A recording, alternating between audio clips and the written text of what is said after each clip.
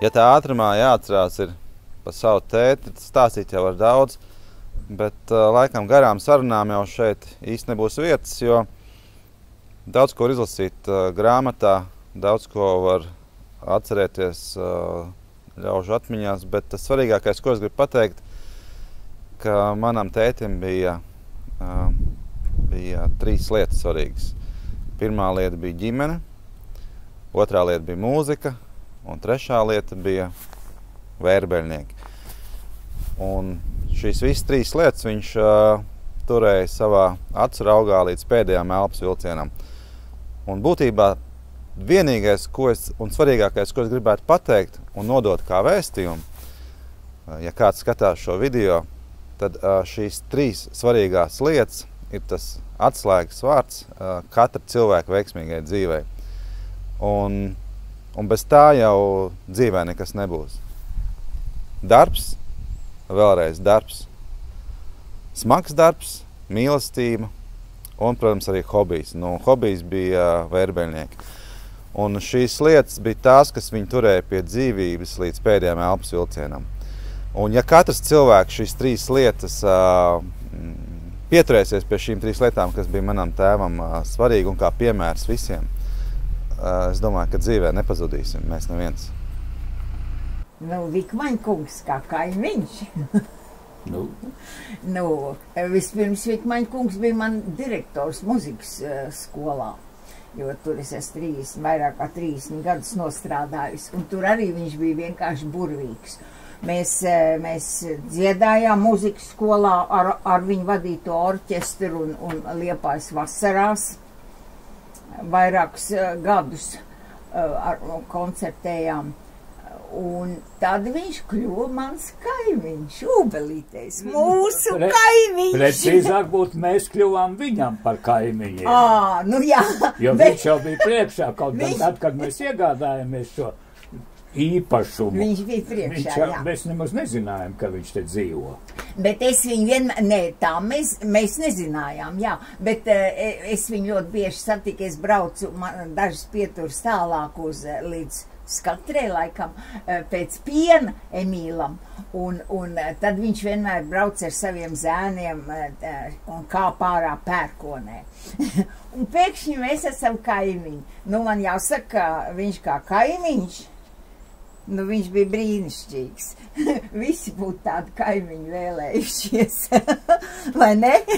Vi- Viņam bija ļoti, kā vienmēr, labi humora izjūta. Jā, Nu, tas, ka viņš bija džentlmenis cauri Nu, un cauri, jā, tas nu ir autobusā un, un pieturās, un, un autobusā, ja viņš vienalga, cik jauna sieviete bija, viņš nekad nesēdēja, vien, vai jā, arī sēdēja, tad jā. vienmēr piecēlās. jā, Tas tie autobusi tajā laikā bija diezgan pārpildīgi.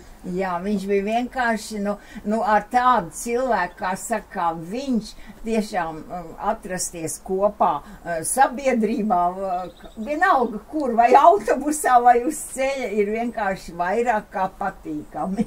Un reizēm jau viņš, ja tas humors bija tāds, arī tāds dzēvīgs brīžam tāds, jā. Jo, jo, nē, nu, gadījās, kad mēs jau te bijām, sākām kaut ko darīt un dzīvot un, propānā un, eh, un pēkšņi pazūd, kaut gan es smēķēju, man, eh, un tā, bet, nu, nav sērkociņa aptrūk, nevarēja gāzplīt aizdedzināt, un es aizgāju pie viņa pēc sērkociņiem. Un to viņš man atcerējās ilgus gadus, kā es kādreiz aizgāju. Nu, ko tad pēc sērkociņiem atkal? Nē, un bija vēl tā, mums jau nebija telefons, bet uh, vērbeļniekos bija telefons. Un, un Vikmaņa kungs atļāva lai, uh, savu telefonu, kā saka, ja nu teātrī kaut ko vajag vai atštaukām kaut ko vajag ziņot, ja, ka var uh, uz viņu telefonu zvanīt un Tad Vikmaņa kungs nāca šurp un, un, un teica, nu, tev tur ir, eh, tev tur zvanīja un tev tur jābūt tur un tur tikos un tikos tad un tad. Vai nāc šurp, tev tūlīt jāzvan uz tādu un tādu numuru. Un tad mēs vienmēr dzērām kafiju. Un es viņu cienāju ar, ar, ar, ar sēņmaizītēm, ar savām slavenajām sēņmaizītēm. Un viņam ļoti, ļoti garš. Nu, kafija tā jau ir leģenda, to jau, protams, katrs, kas ir pie viņa ciemojies, droši vien tā- tāpat stāstīs un stāsta. Tad bez kafijas tur nevarēja aiziet projām. Nu, kaut vai es aizgāju pēc lāpstas vai vēl te kāda cita instrumenta, nu tā, nu, dara un kaut ko vajag. Nē, nāc iedzer kafiju, bija jāpasēž, jāparunā, jāpapļāpa, un tikai tad varēja dabūt to instrumentu un varēja atgriezties mājās atpakaļ. Jā, Ar jā. to bija jārēķinās. jā, nu, nu tā, nu, nu es nezinu, ko mēs vēl. Nē, nu mums jau bija kopēja lauksaimniecība. Jā, tāpat tur, kur tagad jā. ir uh, vērbeļnieku uh, Viesu Terita nami. viesa nams un ne, un kur, kur traileri tiek novietoti, tur bija- pirms tam tur bija padomju armijas futbola laukums karavīriem, nu, pēc tam, kad mainīja, nu, mai, brīvvalsts no, brīvvalstī nonācām, to Vikmaņa kungs iegūt to zem savā īpašumā, nu, tad uh, ar uh, Nīcas Sohoza direktora Vilsona kunga palīdzību tika uzarts gabaliņš, un tad mēs tur kopā cukurbietu audzējām, jo Jā, tajā laikā jau nevarēja dabūt cukuru, un tad, lai var tikt pie cukuru, mēs audzējām cukurbietu. Vikmaņa kungs mums piešķīra arī divas vai trīs lielās garās vagas, un tā mēs arī tikām pie cukuru. Un arī kartupeļus kopā, jo mums te vēl ar to zemi, ka bija kā bija, un, un, un tad Nu, tur galvenokārt bija tās cukurbietas. Cukurbietes, jā, jā, bet, jā, jā. tad- kartupeļus mēs, jā. Nu, nu, nu, tā kā viņš bija ļoti arī dāsns, un viņš saprata, ka, ka, ka, nu, ka mums arī tas cukurs ir nepieciešams, un savādāk nevar tikt pie cukura, jāaudzē cukurbietas. profesionālā darbībā ar kaut kādu sadarbību. Nu, jā, es saku, ā, nu, nu Vi- Vikmaņa kungs, ja viņš vispirms tad, kad mēs tie, nu, tā kā saka, atnācām, viņš teica, viņš arī atnāk, aprunājās ar mani, padzeram kafiju, uzēdam sēņmaizītes, vai te vajag rīkot koncertu vietējiem. Un mēs jau Vikmaņa kungam nekad nevarēja atteikt. Un, un mēs arī to, tas, tas bija tāds mīlestības darbs, Borgs Gunārs un, un, un Dreiblats un Kugrēns laikam vēl, un kas vēl. Mēs te tiešām sarīkojām, nu tajā, nu, Nē, nē, tur viņam jau bija kultūras- plašs programma. Viņš bija iecerējis uh, reiz mēnesī, reiz mēnesī šeit vietējiem pērkons iedzīvotājiem, tajā klubiņā, kas bija blakus tagadējai jūrnieku līgzdai, bija uz, uzbūvēts eh, klubs tāds neliels zālīt. Tajā reiz mēnesī rīkot vietējiem koncertus. Nu, tad viņš arī sarunā, tam mēs te arī desmit kungi nodziedājam, Jā. tā ilgi ar Gunāru, Jā, jā, vēl tāds. citus, ir mūzikas skolas mūziķus, tā tas vien kādu Tā laiku viņš- gāja. Nu, protams, to skatītāji nevienmēr tur bija pietiekoši daudz, bet, nu, dažas dāmas atnāca un tad, nu, mēs arī Nu, bet tas muzicējām. notika, Tas darbība notika, un viņam atteikt tas nebija iespējams. Tur nemaz- un es teikšu, ka arī, nu, es jau teicu, ka mēs Liepājas vasarās dziedājām uh, un, un ar Gunāru, jā, koncertos. Un, un, un tāpat muzikas skolā, vai ne? Un uh, es nevarēju atteikt arī viņa pēdējais darbs, kas bija Mocarta lielajai jubilejai, ko viņš veltīja. Tas bija Figaro kāzas opera. Un viņam bija liels ieceres, bet, nu, kā saka, tā dzīve jau ir, ir un apstākļi ir dažādi, bet viņš izveda to līdz galam. Un man arī vajadzēja viņam, nu, teiksim, kā tādai teicējai, tur tā piepalīdzēt, un, un, un mēs tur izveidojam tādu kā izrādi, bet, nu, tas bija tāds koncertu uzvedums, protams, ar, arī ar man, manu piedalīšanos. nu, es Ne, tur, tur, tur nevarēja viņam atteikt, tur bija jāizdomā, kas kā, un, un, un, un viņš tomēr, lai ar kā viņu varbūt bremzēja, bet viņš to izdarīja līdz galam, un to es vienkārši abrīnoju. Viņš izdarīja līdz galam, tā izrāda notika, un, un, un, un, un Nu, viņam jā, droši vien to jau arī daudz teiks un apstiprinās. Ja viņš kaut ko bija iecerējis, tad pāri jebkuram šķērslim viņš to realizēja. Es nezinu, vai nu varbūt ka kādas idejas kādreiz palika arī nerealizētas, bet viņš tomēr to panāca un realizēja dzīvē. Un, un atteikt viņam tiešām, kā jau teicu, tas nebija iespējams. Viņš mācīja tā apvārdot un pierunāt, un, ka tu, tu, tu, tu biji, gribi vai negribi, tev bija jāpiedalās šeit pasākumā. Nu, tā man jau arī viņš reizēm, nu, mēs satikāmies, nu, pieturā braucot uz pilsētu, pērkonē, un tad uh, mēs tur sēžam, pļāpājam, un es tā pastos saku, nāk autobus.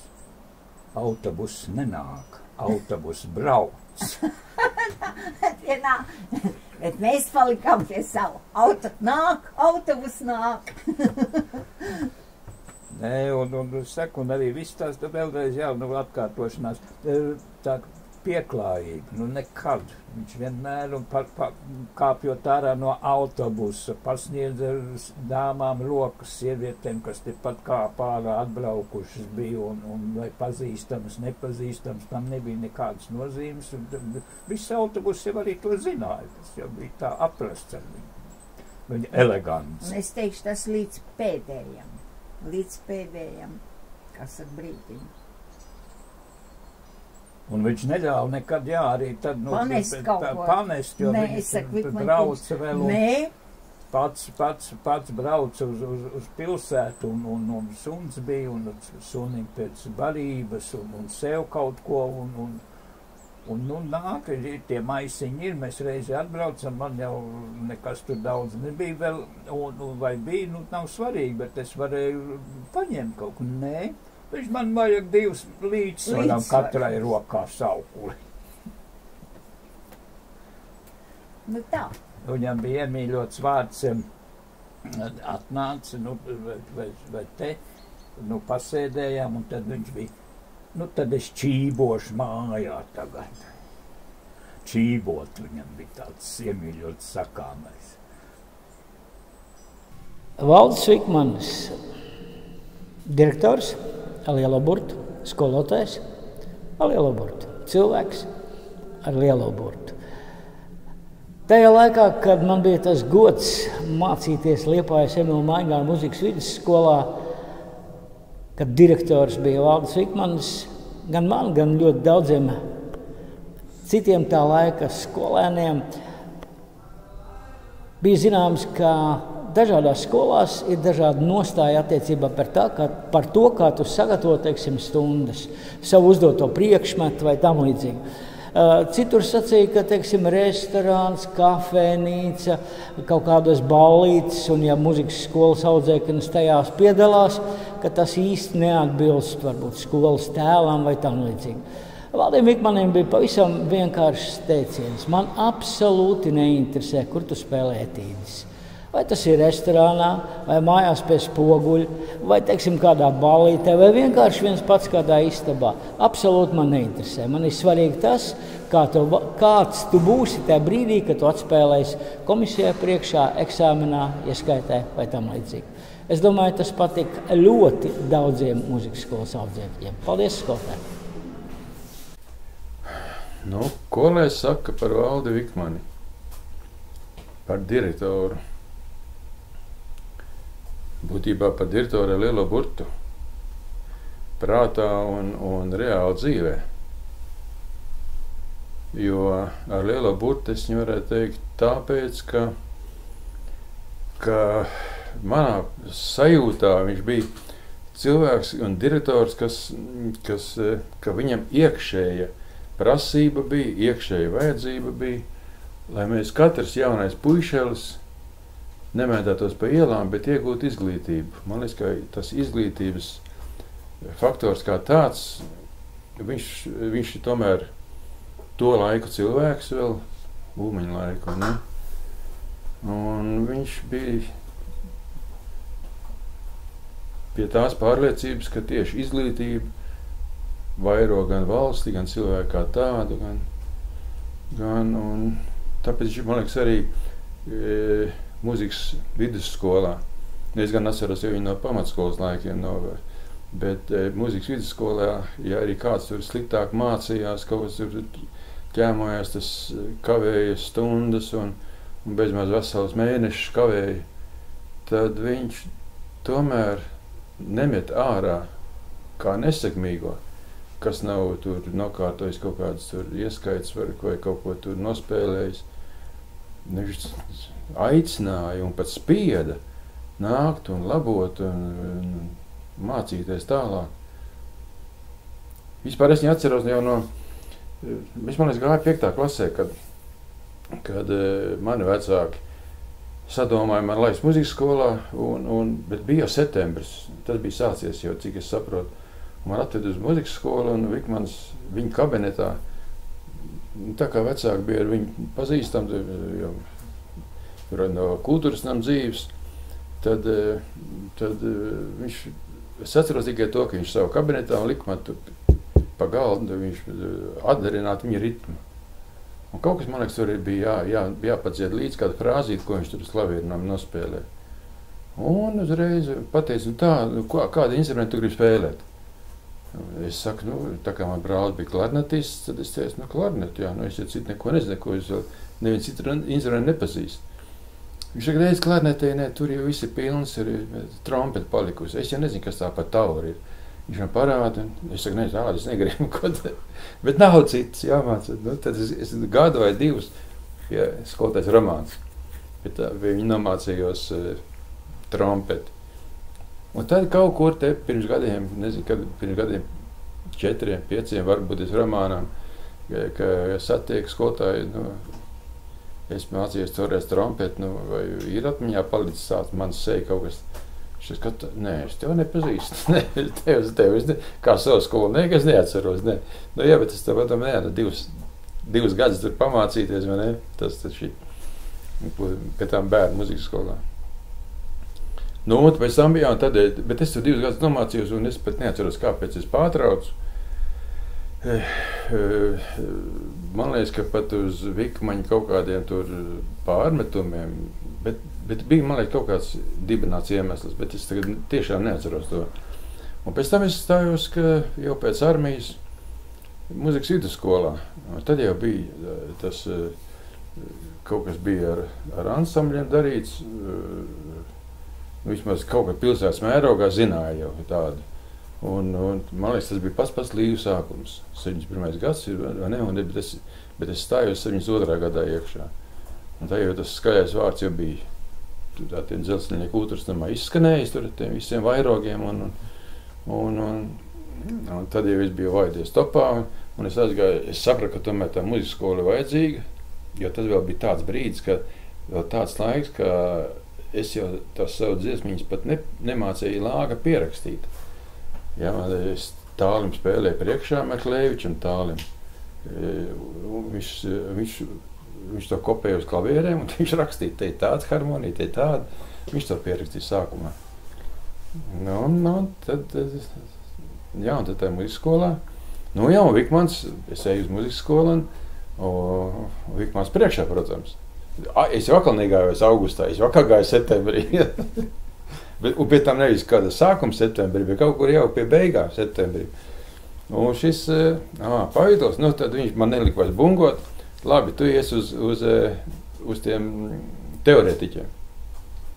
Es te, uz teorētiķiem, ja, ka tāls man pierakst no, ja, es uz teorētiķiem nosties, es nezinu lāga, kuri, nu kaut ko no tās mūzikas skolas atcerējos, ja, kuri do, bet nu tā principā.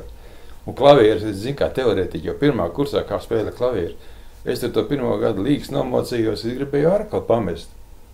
To, to skolu, nu taču, ko tad tu no nulles cilvēks teorētiķos, ne tā, nu tur.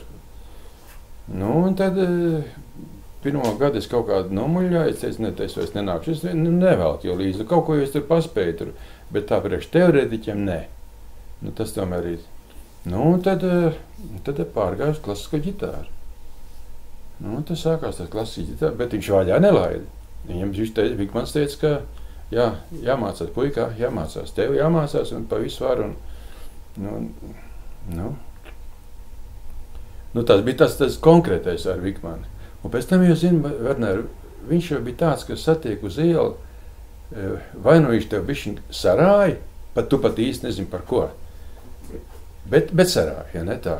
Un tad tā maigi, nu tā kā tev iet, un, palīdzību varbūt viņš tā akurāti nekādu nepiedāvā. Kaut gan viņš zina, ka skolā piedāvāja tādiem, tādiem nu, kam nebija tur, varbūt viņš nebija brokastu paspējis paspējis paēst. Viņš pat rublu piedāvāja, man liekas, toreiz.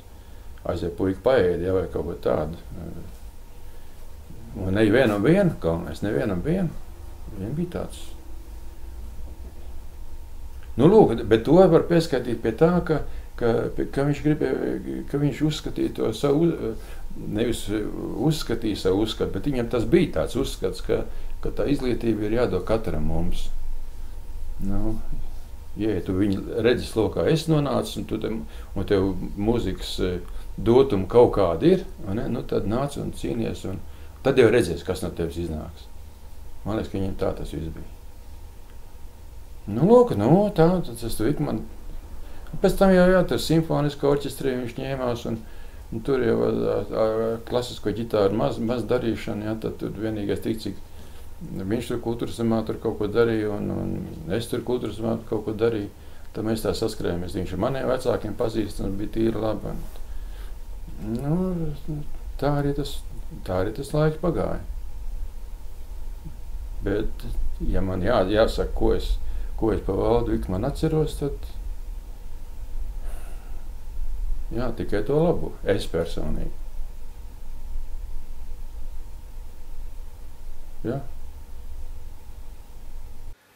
Pārāk daudz tā atmiņu nav, bet toties man šķiet ļoti, ļoti svarīgs, vismaz priekš manis noteikti. Es biju ļoti slikts eh, vidusskolēns, kā rezultātā man atskaitīja no Cēsu mūzikas vidusskolas, un es atnācu uz Liepāju.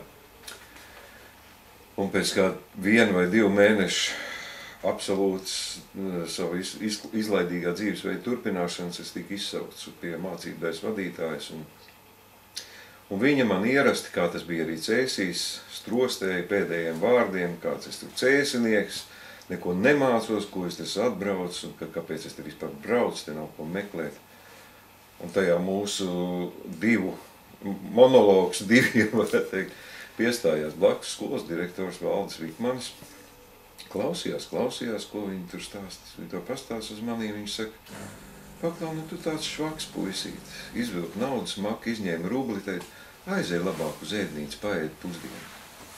Man ko visi skolotāji mani gadiem tikai gānījuši un lamājuši, bet ko skolas direktors no sava maka man iedod naudu, un, jo es tiešām arī nebiju ēdis, man gribas Man tas bija tāds šoks, es nevarēju laikam vairāk, es atklāt sakot, līdz šai baltai dienai man šī epizode vienkārši kā tāds klikšķis bieži vien nostrādā.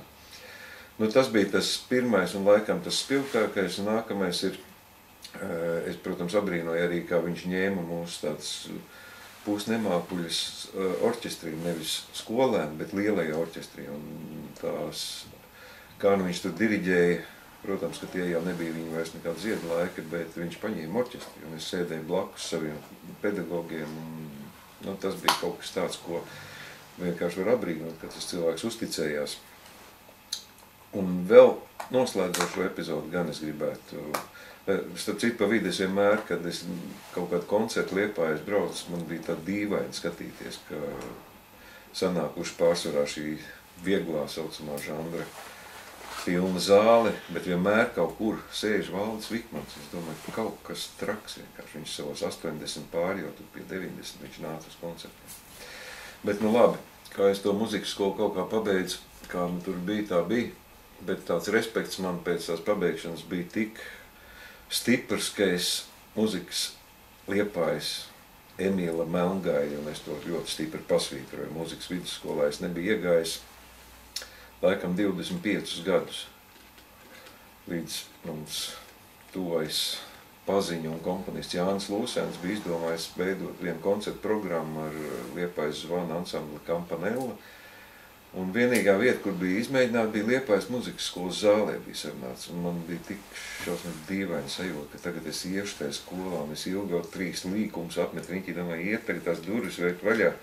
Man bailes vienkārši. Un saprot, ir tāds rudens, novembra vakars, tumšs, līst lietus parasti. Un es vēru tās durvis, un ko es ieraugu blakus Melngauja lielai statuvei, pie palodas stāv Valdis Vikmanis viņam ir atvērts kāds nošs grāmatu, un viņš pie sevis kaut ko taktē, teiksim tā. Un viņš ierauga mani, un viņš man atpazīst un atcerās, kas arī jau ir vienkārši apbrīnojami. Nu, tā bija pēdējā reize, kad es satiku acu pret acu Valdu Vikmanu, kas, kad man liekas, viņš bija to skolas audzis vienkārši kopā. Nu jā, un tā skumjā lieta, ko es noteikti gribu pateikt, man, man ir ļoti bēdīgi ir bijis, ka tad, kad arī to slaveno roku nospiedumu ielu atklāja, man liekas, ka Valda Vikmaņa rokai tur bija jābūt kā pirmajai, jo visa tā bandītu plejāde faktiski ir pateicoties viņam ir tikuši dzīvē uz priekšu, tā kā nu, tas ir cilvēks ar, ar trim lielajiem burtiem. Paldies Valdim Vikmanim. Valdis Vikmans, jā. Varbūt jāsadala šis mini stāstiņš divās daļās - atmiņās un tagadne.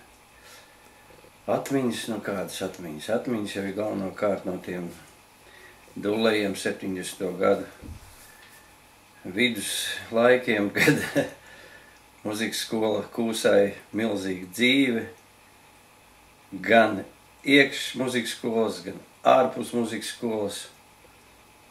Un visu to kaut kādā veidā turēja savos grožos un rokās valdis. Tas, kas Vikmans, protams. Nu, var tā uh, pafilozofēt, ka tā paudze, Vikmaņa paudze, pēckara gada cilvēki, tur bija milzīgi daudz personību milzīgas, spēcīgas personības, ir īpaši pedagoģiskajā darbā. Un mums bija tā laime trāpīties tajā laikā, kad valdes vadīja skolu, gan viņš, gan Velga Kļaviņa, gan, gan Aleksandra Vikmana, Ludvigs Leitis. Tie bija tādi milzīgi pīlāri, ne tikai mūsu Liepājā, bet es uzskatu visā Latvijā, protams. Un tas e, veidoja to, to skolas vidi un visu liepājas vidi, kultūras mūzikas vidi. Valdis tajos laikos, mēs ar to skatījāmies pavisam citādāk. Tie bija sirmi kungi, pelēkos uzvalkos, vienmēr nopietni, vienmēr diezgan, pat ne diezgan, bet visu laiku stingri. Bet tajā pašā laikā caur tai stingrībai veidojās milzīgs cilvēciskums un, un sapratne par to, kas vispār ir jaunie mūziķi. Valds vienmēr perfekti varēja nopēlēt, un to mūsdienās jau tāpat var pateikt, kur ir talanti, kur ir kaut kādas spējas un kā viņus sargāt no visiem tiem kārdinājumiem, kas jau mūziķiem no jaunības nāk klāt. Un Un viņš taču caur, caur visiem gadiem būtībā ir izglābis gandrīz visus, visus tagadēji zināmos uh, mūziķus uh, no kaut kādām nepatikšanām. Jo nepatikšanas bija nepārtraukti, tur tas ir atsevišķi stāsts. Jo mēs spēlējām gan krogos, gan vienkārši tāpat tās uh, dūlības darījām.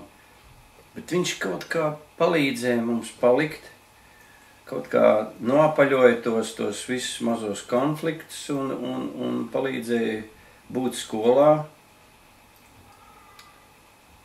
Tajos laikos, kā jau es pieminēju, Sirms kungs un viņa valda tā mīmika, mīmika un uh, viss tā uzvedība, teiksim tā, Viņa bija milzīgi tā kā nosvērta. Nekad nebija tādas krasas pārmaiņas tajā sejā. Viņš bija vienmēr nosvērts, drusku saraukt pierīt, un tu pat nevarēji mm, saprast, kas tur, kas tur tā ir. Es atceros ļoti vienu zīmīgu momentu, ka viņš lielajā aktu zālē, nu, mu, zālē muzikas skolas augusēk lielā diriģēja savu skolotāju koru, un viņš diriģē, diriģē, diriģē, diriģē, un tad saliek rokas tā, saliek rokas, kožas dzied, viņš saliek rokas. Un mēs tad nevaram saprast, vai viņš aizmitis ir, vai viņš kaut ko pārdomā, bet kors it kā lēnām, lēnām, lēnām dzied, bet arī es tā jūtu, ka viņš sāk kā apstāties, jo viņam rokas ir šitā, bez kustības. Bet iekšā viņam viss tur notika, un tā enerģija, ko viņš noteikti izstaroja arī tādā veidā, likt tam korim turpināt, nu, kamēr viņš atkal atsāk jau, jā. Un tas arī bija ikdienā, ka tu bieži tā, kā jūs teicat, nesaprati, kas tad viņam ir iekšā. Jā, tad bija arī asāka, asāka balss un tembrs, tad tu visu saprati.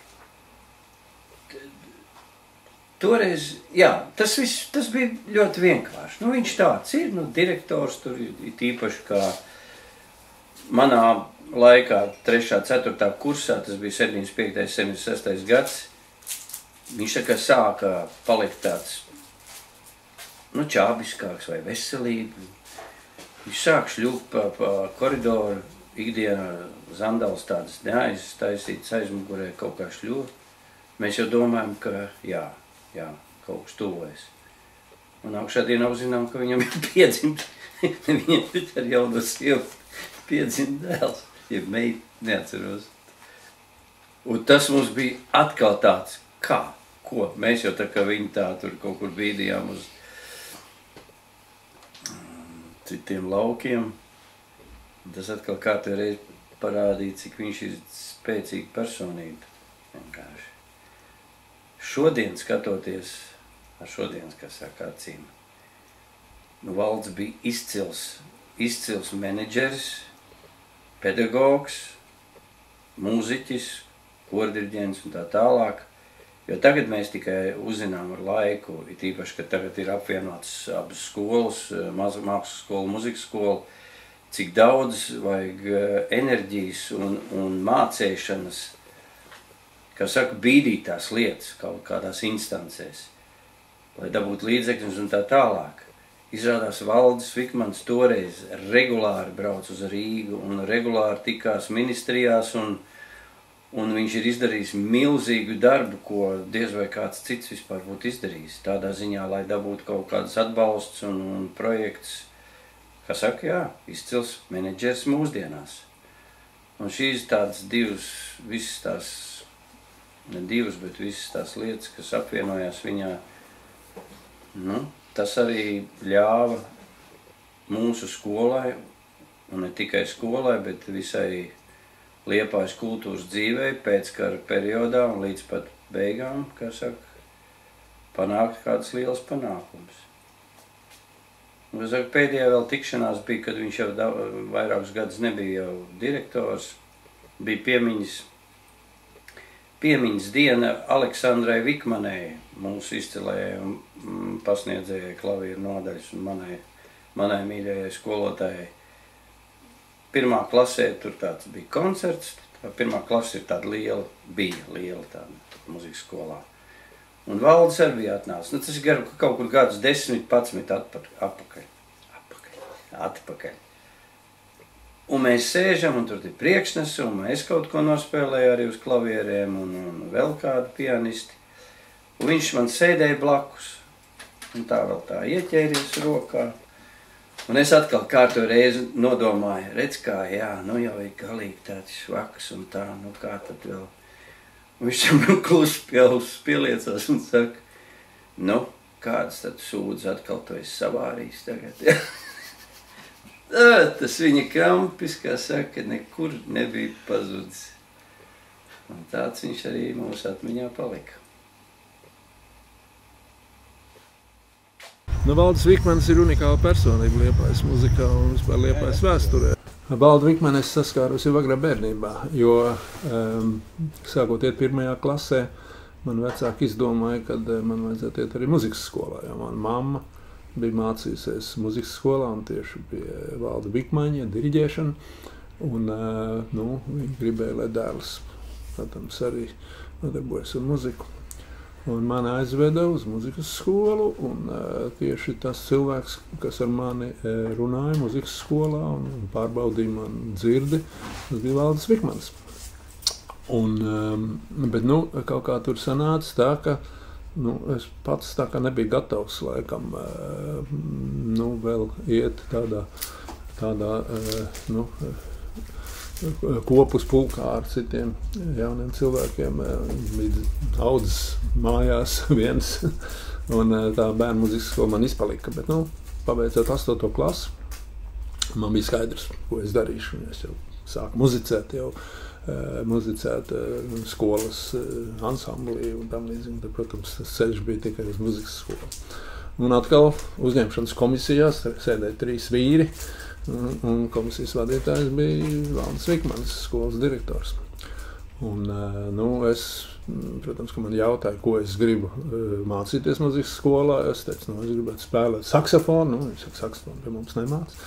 Nu, tad es gribētu vai nu flautu, jeb nu, klarneti spēlēt. Bet viņi teica, nu, bet tu tāds liels puisis un, un, un fiziski spēcīgs, tev vajadzētu spēlēt fagotu. Es nezināju, kas ir fagots, bet nu, ja tādas saka, leģendāras personības muzikā liepā, ja saka, ka man jāspēlē fagots, nu, tad es spēlēšu fagotu.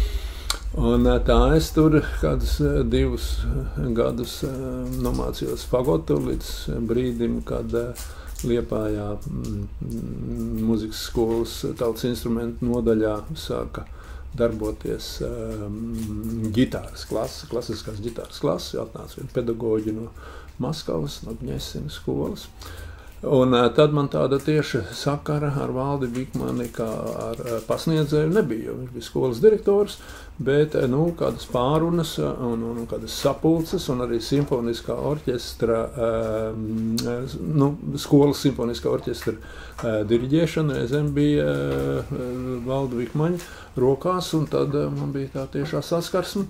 Un viņš man, tā kā es sāku spēlēt ģitāru, Tad viņš man bieži vien pienāca klāt arī skolā, un tad man nu, izjautāja, kā tam man iet. Ja es tomēr pārgāju no fagota uz, uz ģitāru. Es to ļoti gribēju. Un tad viņš man pārjautāja, kā man iet, un, un, un arī interesējās par to spēlēšanas nu, kvalitāti un tam līdzīgi. Eh, un, um, un, un varēja just, ka tā interese nav, nav tikai tāda no nu, formāla, kā direktoram pienāktos, bet tā interese vienmēr bija patiesa. Tā bija līdzīga citiem maniem uh, kursu biedriem, ar kuriem uh, kuri no stāsta to pašu, ja, ka viņš bija patiesi ieinteresēts katrā studentā un liepais muzikas dzīvē kopumā. Un viņš bija tāds cilvēks, kā mēs mēdzam teikt, uz tādiem balstās pasauli. Jo tādi cilvēki pārāk daudz varbūt nerunā, neraksta rakstus un nestāsta stāstus, ja, bet viņi savā dzīvē mēdz paveikt tādu apjomu darbus, ka nu, laika biedri tik var pabrīnīties, kā tas vispār ir viena cilvēka dzīvē iespējams. Un viņš sāka pēc kara Liepājā. Viņš nav liepainieks dzīves, jā, viņš atnāca no, no, no, no, no, no vidzemes. Un, uh, viņš nu, sagrauj to Vītola rajonā, pussagrauj skolu, faktiski fiziski rīkoja talkas un atjaunoja un uzcēla faktiski, nu, faktiski sagraut ēku. Es to vienkārši ļoti labi zinu, jo mana mamma mācījās tieši pēc kara pirmajā šajā kursā, un, un, un viņa stāstīja, kā viņa tur Pēc stundām gāja kraut ķieģeļus, un tie, kas mācīja mūrēt, tur kaut ko krāsot, tie tur kaut ko darīja un ņēmās, un tāpat dārzi iekopu un tam līdzīgi. Viņš bija nu, Latvijas liepais muzikas dzīves centrs, kodols un, nu, protams, leģenda joprojām. Ja, jo, jau diezgan daudz gadu ir pagājuši, ka viņš vairs nav, nu, viņš jau aizgāja pensijā, nav muzikas skolas direktors, nu, un arī, ka viņš ir miris, bet viņa, viņš kā tāds Eh, Liepājas muzikas dzīves eh, nu, galvenā persona centrs joprojām ir, ir, ir, ir nozīmīgs. Un arī jaunie cilvēki, kas ir dzimuši eh, jau šajā, šajā tūkstošgadē, viņi, kas nodarbojas ar muziku, viņi noteikti zina, kas, kas ir Valdis Vikmans. Tā kā, nu, bez Alda Bikmaņa visticamākais nebūtu arī vesela rinda Liepā, no liepājas nākušu, ja sev liepājas nākušu e, muziķu, ritmiskajā muzikā, jā, tad estrādes ir populārajā muzikā, rock muzikā. Jo e, tajā laikā, protams, e, nu, ritmiskās muzikas spēlēšana netika oficiāli atbalstīta, un tas atkarīgs bija arī no cilvēkiem, kas vadīja mācību iestādes, ir kādas citas kultūras institūcijas, un tā attieksme nebija nekāda pretīm nākoša padomu laikā. Bet uh, Vikmanis arī nebija nekāds populārās muzikas, nu, liels varbūt piekritējs. Ja?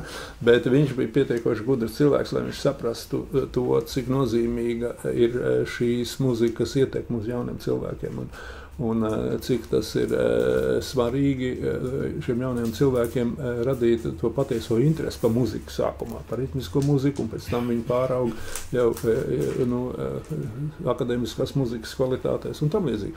Un līdzīgi arī džēzi. Un viņš, neskatoties uz šo te varbūt oficiālo attieksmi pret ritmisko muziku, džēzu, kur nebija pārāk labvēlīga no valdošajām aprindām viņš nelika šķēršļus muzikas skolas audzēkņiem piedalīties visdažādākajās džēzus mūzikas, un estrādes un roka mūzikas izpausmēs, grupās un kombinācijās. Un, protams, nevienam arī nav noslēpums, kad ritmiskās muzikas eh, spēlēšana notika arī restorānos, kādās kristībās un apkūlībās, kā mēs teikt, un kur arī neiztika bez alkohola lietošanas, es sevišķi tajā laikā, kad nu, alkoholisms sita diezgan augstu vilni. Ja. Un, eh, un, un viņš bija pietiekoši tolerants un izprotošs, eh, lai gan pats, kā mēs zinām, viņš alkoholu nu, nelietoja praktiski. Bet viņš neizmeta no skolas daudzos gadījumos tos, muzeķus, kuri atnākot eh, uz skolu, uz ieskaita bija vēl, kā saka, uz paģirām no iepriekšējo kāzu spēlēšanas, eh, un, un viņš, kā saka, vilka šos te saules brāļus līdz pēdējām, tad, ja viņš saprata, ka šim cilvēkam piemīt kāds talants dievdots, jā, un, Un, un tādā veidā es varētu nosaukt veselu rindu e, muzeķus, kur bija nu, formāli pelnījuši, lai viņi tiktu atskaitīti par neapmeklēšanu, ja par, par, par, par, par, par alkoholu lietošanu, tam līdzīgi, kur tagad ir nozīmīgas personas un arī e, devuši lielu ieguldījumu latviešu populārajā muzikā. Tāds bija Balts Vikmans. Tāds viņš ir mūsu sirdīs joprojām. Labdien! Tātad par Valdu Vikmanu. Pirmkārt, ja kaut ko gribam uzzināt precīzi, tad vislabāk būtu šo grāmatu lasīt, jo tur ir viss no viņa teikts, no viņa skatu punktu, viss tie darba un, un, un viss dzīve un ģimene un nu, vienusās visas lietas, kas ar viņu saistītas, ir šī grāmatā atainots.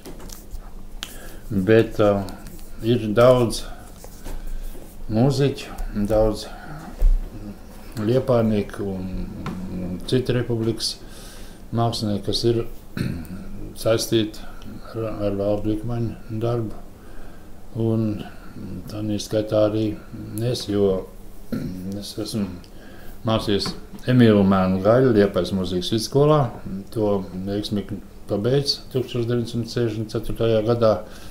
Un, un tad gāja tālāk mans dzīves gāja, bet tās nav par mani, tās par Valdu Vikmanu. Tātad viņš ir viens no ievērojamākajiem muziķiem Liepājā un arī Republikā un nodzīvos ilgu mūžu, 96 gadus.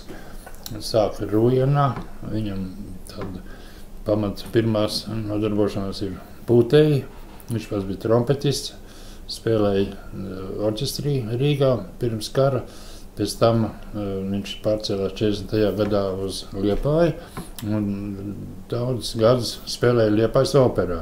Liepājas opera ir tāds arī fenomens, kad mm, kara laikā, kad šeit bija vārds pārvalde, notika 5-6 izrādes mm, operā teātrī. Nu, un Vikmans Valdis spēlēja trompečiņu orķestrī. Nu, izrādes bija ne pa nu, knapām, kā saka.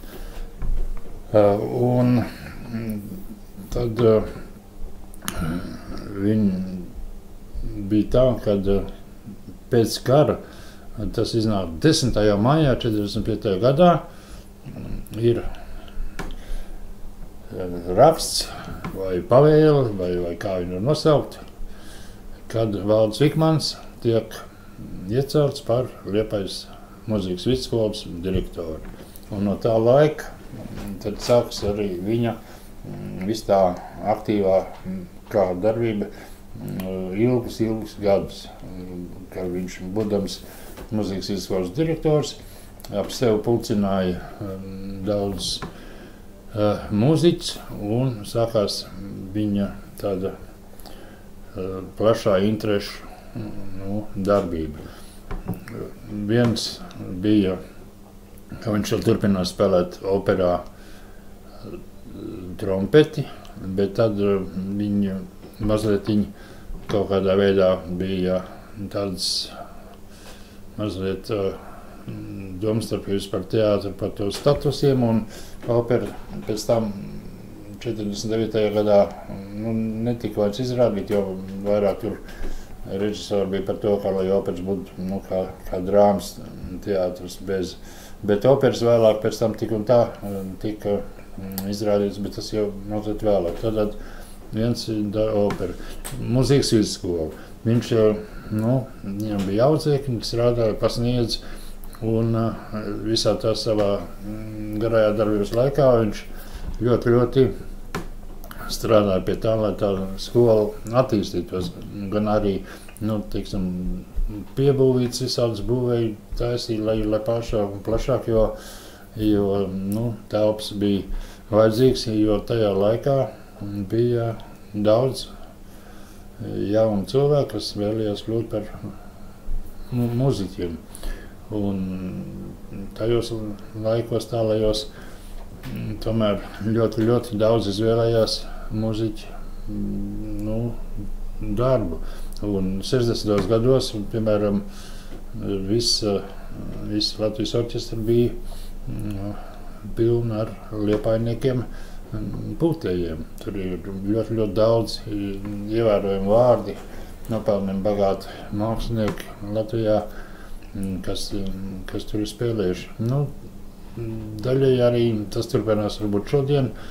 Kad mm, neapšaubām talantīgs mūziķis nokļūst kaut kur labā darbā. Tad mm, darbs nu, mūzikas vidusskolā un, un, un ar skolotājiem un, un viss tā. Un tur ir nu, divas lietas, kad ir jābūt gan skolotājiem, gan arī ļoti labam menedžerim. Pamat viņa, kā viņš pats saka, viņa aizraušanās lolojums ir, ir orķestris. Un viņš mm, pēc mm, kara tūlīt sāk mm, jau pamazām, pamazām veidot Liepājas simfonisko orķestri. Jo nu, orķestris jau bija arī pirms kara, viņš ir vecākais Baltijā, bet nu, teiksim, nu, atjaunot un veidot atkal, lai viņš skan. Un tur viņš ļoti daudz pie tā piestrādāja un ļoti, ļoti zolīts programmas veidoja. Un viens no gājieniem bija tāds, ka izdomāja, ka nu, gluži pavēlti negribētu tie muziķi spēlēt. Un viņš sarunāja ar visiem iespējamiem priekšniekiem, kur bija mieru palīdzēt šajā jautājumā. Nu, tie tad arī palīdzēja, un viņi varēja darīt tā, ka orķestra mākslinieki saņēma tiksim, atlīdzību kā, nu, par 12 stundām, ko viņi būtu nostrādājuši nu, muzikas vidusskolu, no nu, orķestrī. Vienmēr sakot, bija, bija četras reizes mēģinājumi nedēļā, un tas bija arī tāds, nu, gājis, kad, kad man mūziķis par savu darbu saņem kādu atalgojumu. Dabiski tas nu, gāja, gāja, gāja. Bet tad jau sākā kaut nu, būt dažādas politiskās vēsmas, un, un, un vēlāk dabiski jau orķestris ieguva citu modeli. Bet teiksim, pa tiem laikiem, kad, kad Vikmans bija orķestra menedžers un mākslinieckais vadītājs un diriģents, ir ļoti daudz nu, lielas lietas bijušas. Ir, ir piemēram, divreiz ir Liepājas lidostā um, bijusi lidmašīna AN 18. Ne, ir 18, tas ir lielā divu, četru motoru lidmašīna, kur vienreiz orķestri un kora aizved uz Grūziju, un vienreiz ar orķestri kora aizved uz, uz uh, Armēniju, uz Erevānu, Bilisī, tur notika liela koncerta. Tad bija arī Mums bija braucieni arī ar orķestri un eh, braucieni uz, uz Ļiņģerādu, Sanktpēterburgu, kur arī bija, bija simfoniskā orķestra koncerti. Tā kā tas bija ļoti tāds jau nu, tāds skanējums. Un vēl jāatzīmē ir tomēr, ka ļoti, ļoti liela lieta bija tas liepais vasaras simfoniskā muzika. Lielākoties viņas spēlēja estrādē Putvējiņu, kur no 64. gada tika atklāta. Un uh, tur viesojās ļoti, ļoti ievērojami tā laika, tā laika muziķi, kuri nu, ir nu, pasaulē atzīti. Ir, nu, piemēram, Valdis Vikmans lepojas ar to, ka Kremers ļoti, ļoti jauniņš spēlēja šeit, nu, Putvējiņos, vijoli ar Liepais orķestru. Un, un tagad redziet, kur, kur, kur viņš ir ar savu kremerātu un, un pasaulē atzīts mākslinieks. Nu, tā daudz ļoti, ļoti ievērojami mākslinieki šeit viesojas. Un Liepais vasaras, man liekas, vai, vai 20 vai 21 gadu nu, spēlēja Un, un tā. Ļoti nozīmīgi bija Liepājas vasaras simfoniskie koncerti estrādē Putvējiņi. Un tur ļoti laba akustikā un vienreiz nu, tāds it kā sacensību gars starp tur dzīvošiem zvirbuļiem un, un orķestriem. Tas man iespējas atmiņā uz visiem laikiem, kad ļoti, ļoti klusa vieta un koncertu mēs varam bija uz īvols jāspēlē tādu mm, klusu vietiņu. Bet tā, mm, fakts ir tāds, ka tie zvirbuļi tikko sāk spēlēt, viņi sāk arī visi dziedāt. Viņi zina, ka kāda zvirbuļu dziesmas, viņas ir samērā skanīgas un viņi tad liels skaits. Nu, tā kā tādā brīdī orķestris bija otrā plānā. Pirmā plānā bija zirbuļu kurs un tā. Bet um, tas ir vienkārši tā atcerēties to, ka dažādi, dažādi gājieni. Nu, Liepās vasaras um, laika beidz pastāvēt. Bet nu, vietā jau nāca lielās pārmaiņas orķestrī, kad viņš jau kļuva par pilsētas orķestri, tam jau valsts orķestri un, un mainījās diriģenti, mākslinieku vadītāji. Un tad jau nāca lielais pianistu un zvaigžņu festivāls, kas jau mm, turpināja tā kā, tieksim, tādas tradīcijas un, un, un dažādi citi koncerti. Un Liepais orķestris, kad sāk jau mm, nu, plašāk daudzpusīgāk visu, visu to darbību veidot. Mm, kas saistīts ar Vikmanu, piemēram, otrais lielais tiesim, tāds viņa piepildīts darbs ir Pūtija orķestris. Pūtija orķestrim arī mm, tagad Valērijas Šestilovskis ir nu, mantinieks un, un diriģents orķestrim.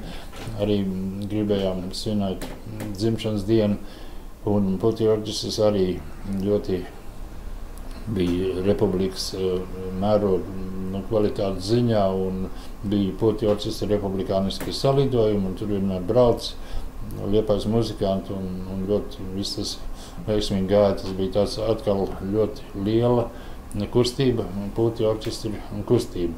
Nu, un šeit varētu zīmēt, ka Valsts Vīkmans bija lielajos dziesmu svētkos, Mm, kā virsdirigents arī.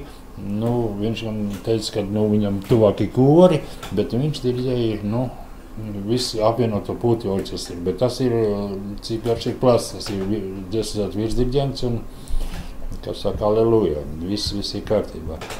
Nu, un tad ir nākamais etaps, ir ne, etaps, nu, vispār darba virziens ir viņa darbs ar, ar koriem. Pēc kara uzreiz, jebkurā liepais uzņēmumā bija kori.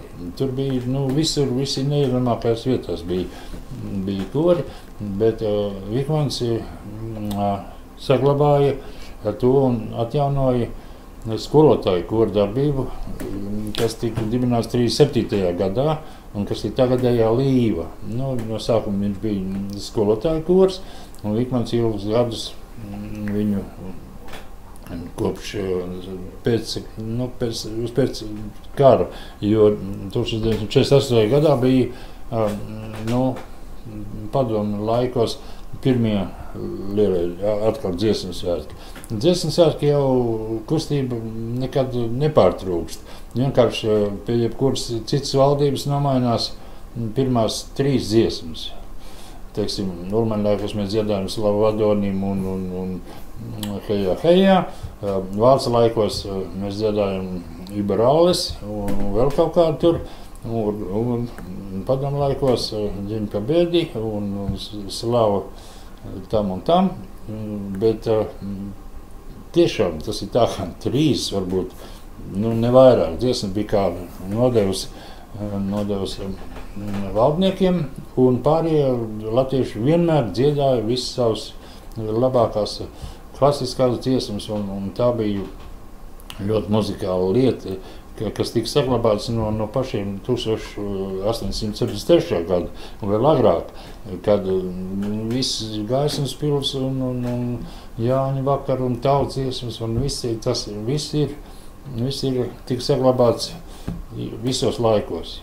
Jo, piemēram, 43. gadā uh, Latgalē bija ļoti, ļoti plaši uh, dziesmu svētki, kur sēdēja vācu oficieri un ar savām sievām, un, un latvieši dziedāja um, te mūčam teivijai un, un, un tāds, jo neviens viņam netulkoja, par ko iet runa, vai viņam droši vien ņem vērā to, ka tev varbūt, ka dzied jau bišķiņi vairāk jau reihu slavinot vai ko, bet, nu, tas atkal tā, tāds, nu, un, un, un, padomu laikos tāpat, kad viss, viss lietas notika, bet, nu, dabiski bija savu zinām, nu, teiksim, tie politiskie nosacījumi, bet uh, tas it kā mazliet varbūt tas tāds ārējais spiediens lika uz to, ka, kad bišķiņ tad visos bija tāds, nu, spīts, un, un, un, un tomēr notika ļoti, ļoti, ļoti, ļoti uh, augstvērtīgas un labas uh, muzikālas lietas. Gan dejās, gan pūtējiem, gan, gan dziedātājiem, gan visās mākslās. Tā kā reāli mēs nevaram teikt, ka kad uh, kaut kas tika, nu, ja pie jebkuras pārvaldes, kad kaut kas tika nojaukts dziesmu svētkos. Tiksim, nu, tajā lielajā tautas tajā kultūrā. Un tā ir, es pilnīgi par to esmu pārliecināts, ka tas tā bija. Es nu, kā visu to esmu redzējis, ka, nu, kā bija tā, un tad, kā tur un kā, kā tagad un kā notiek. Tā kā um, par šo lietu ir nu, jāturpina. Un, un, un paldies, ka nu, Meža parka estrāde ir, tagad ir jau drīz, drīz būs pavisam gatava un atkal varēs cilvēki pulcēties mm, kopā un dziedāt. Ar, ar skolotāju kori kaut kad 50. gadu beigās bija Vitola Lampagoda konkurss un Liepais skolotāji dabūja pirmo vietu dziedot Šostakoviču dziesmu, apklus pēdējās zaules, smokļu zaupļu zapas dālīja, tādu dziesmu, kas ir, jo Šostakovičs jau ir pasaules komponists un neatkarīgi no tā, kad, kur un, un kas un kā, mm, tā viņa muzika ir tagad attīrot no, no visādiem lietām, viņa ir nu, ļoti, ļoti pasaules klases mūzika. Nu, un, nu, Valds Zikmans nodirģēja savu koru un, un, un dabūja, dabūja pirmo vietu. Nu, ne tikai to dziesmu, vēl, vēl cits. Tā kā mm, Liepais skolotāji vienmēr ir nu, braši turējušies. Nu, arī skolotāji, nu, skolnieki, ko viņš diezgan ilgi dirģēja Liepājas pirmajā vidusskolā. Bet, nu, nu, tas ir tā, to mēs varam runāt, nerunāt, bet nu, to, ka eh, viņam raksturs bija stingrs un, un, un nu, viņš labi zināja, ko viņš, ko viņš dara un ko viņš grib izdarīt. Nu, ne, nevienmēr jau varbūt viss tik gludi gāja, kad šādi viņš varbūt kaut kāda bija domstarpības. Es zinu, viens, piemēram, domstarpības ar režisoru mūrnieku par operu. Tāpat arī pirmās skolas korī, viņam vēl ar direktoru Ļaļiku arī bija Tiksim, kaut kādas domstarpības un, un kaut ko tādu. Tad tas nu, izšķir to jautājumu, ko kurš tālāk dara un, un kā. Bet nu, katrā ziņā visi tie lielie virzieni neatkarīgi no tā, jo nu, saskaņas un nesaskaņas jau tas ir tiem cilvēkiem, kas dara lielas lietas, jau tas ir neizbēgams. Tā kā Nu, tā, un, un, un tad viņš ir aizsācis un, un atsācis un darījis visu savu garo mūžu, visus šos muzikālus virzienus. Un, un, un, un, Nu, par to viņam liels paldies. Un, un arī viņa laikā skola bija liela ļoti. Un, un, un tā. Bet nu, tas varbūt bija arī tīri tādā ziņā, kad laiks bija cits. Kad, kad, nu, varējām kaut kā izvēlēties mūzikas profesiju. Piemēram, arī Andris Lekslīts ar savu kursu. Viņi pabeidza mūzikas vidusskolu un, un aizbrauca uz kaut kur uz Sibīrijā, kaut kur, tie, cik viņi tur trīs gadus nostrādāja. Kurpnieks rūt un vēl tur.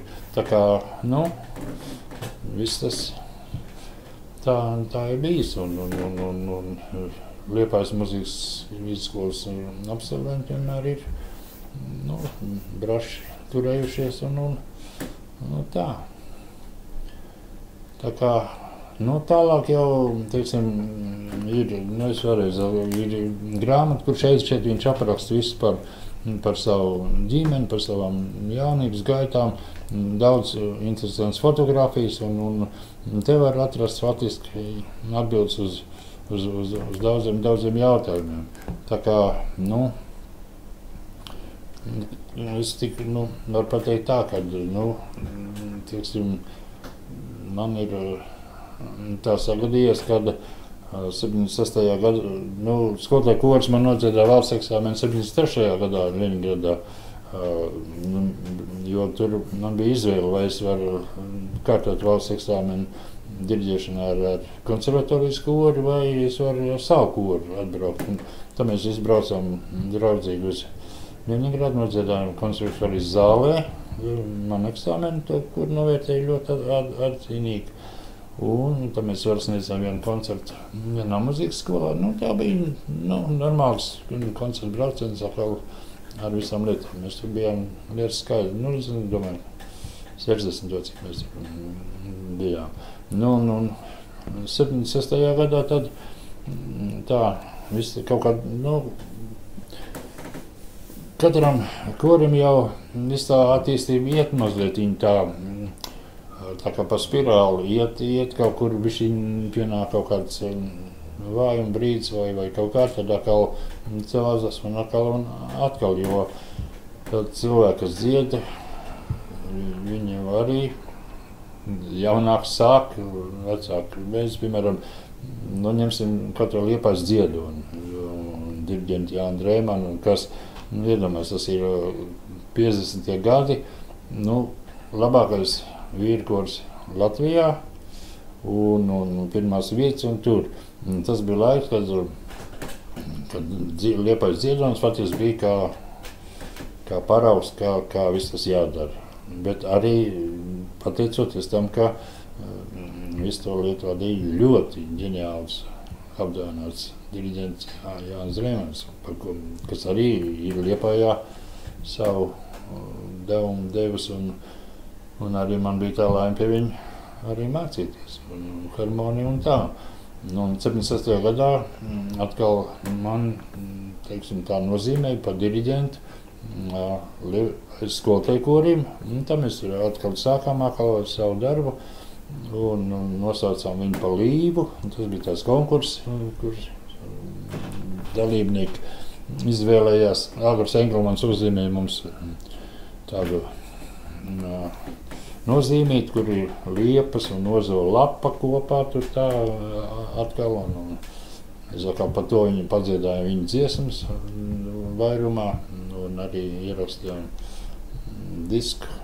Vienu vien vinīlu disku ierakstīja Līvi, vienu ierakstījām ar radiokoru, agri dziesmas. Tā kā Agrips jau bija tas cilvēks, kas nāca pēc valda Vikmaņa direktoru vietā. Tā, nu, un tad valdam Vikmaņam jau atkal bija jau tāda mm, mazliet nu, savādi. No dzīvi viņam superīgi. Visu lauku mājas verbeļniekos un, un tur. Un tā viņš arī uz koncertiem cītīgi gāja un, un, un darbojas vēl kaut kā. Un, un, un tad šeit ir arī grāmatā pārdoms par to, kad, kad viņš ir apmeklējis tādu un tādu koncertu, kas ir Nu, viņš teica, nu, man tas nav pieņemams, bet es taču neiešu uz ielām kliegt, ka tas nekur neder, vai, vai, vai pat, nu, kas saistīts arī ar liepais dzintariem un tā.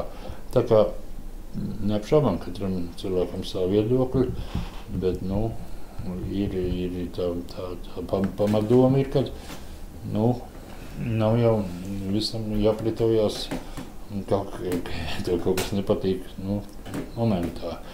Tā bija nu, droši vien arī viena no viena tādām lietām, kad nu, viņš varēja izvērtēt, izprast un visu to darīt. Un, bet, nu, katrā ziņā viņa tiksim, tas devums un, un Liepājas mūzikas skolā ir ļoti liels.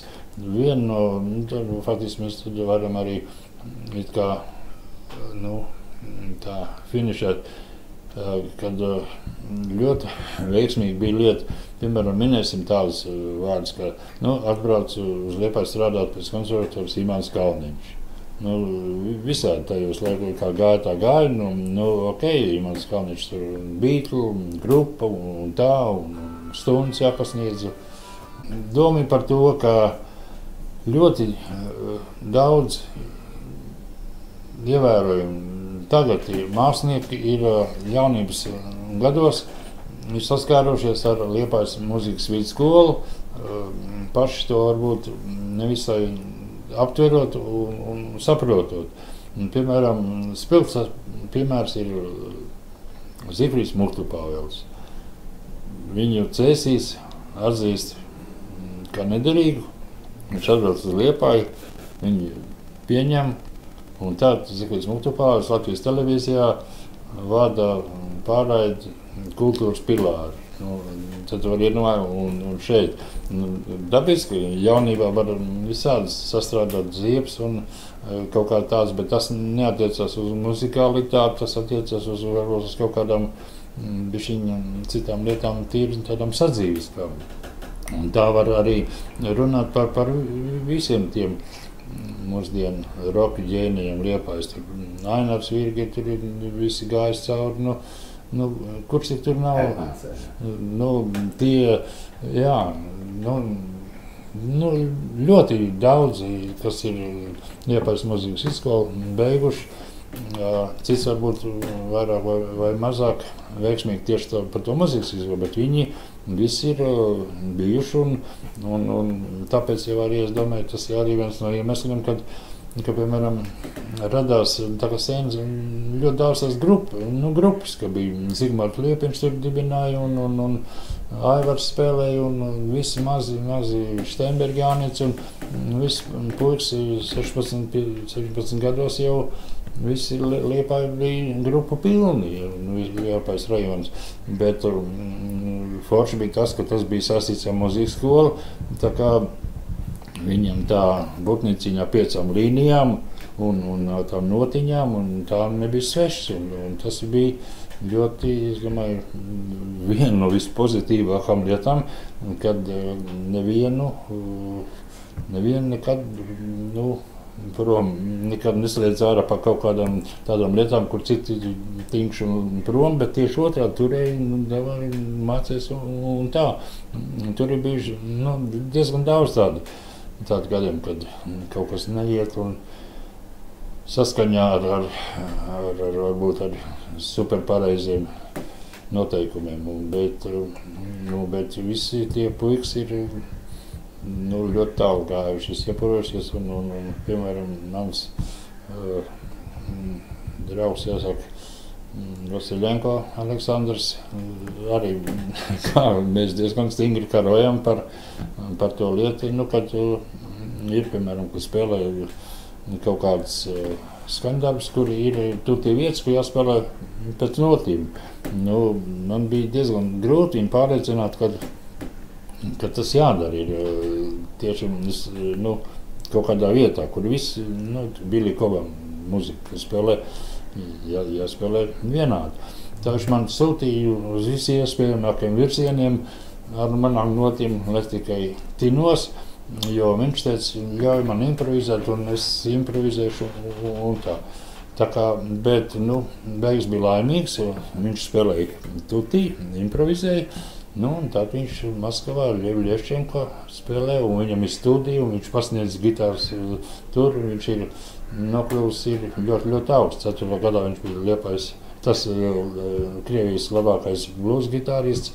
Bet uh, bija tādi brīži, kad, kad arī man tāpat kā Vikmanim vajadzēja teikt, draudziņ, tomēr iemācies pēc tam notiņām tur kaut ko.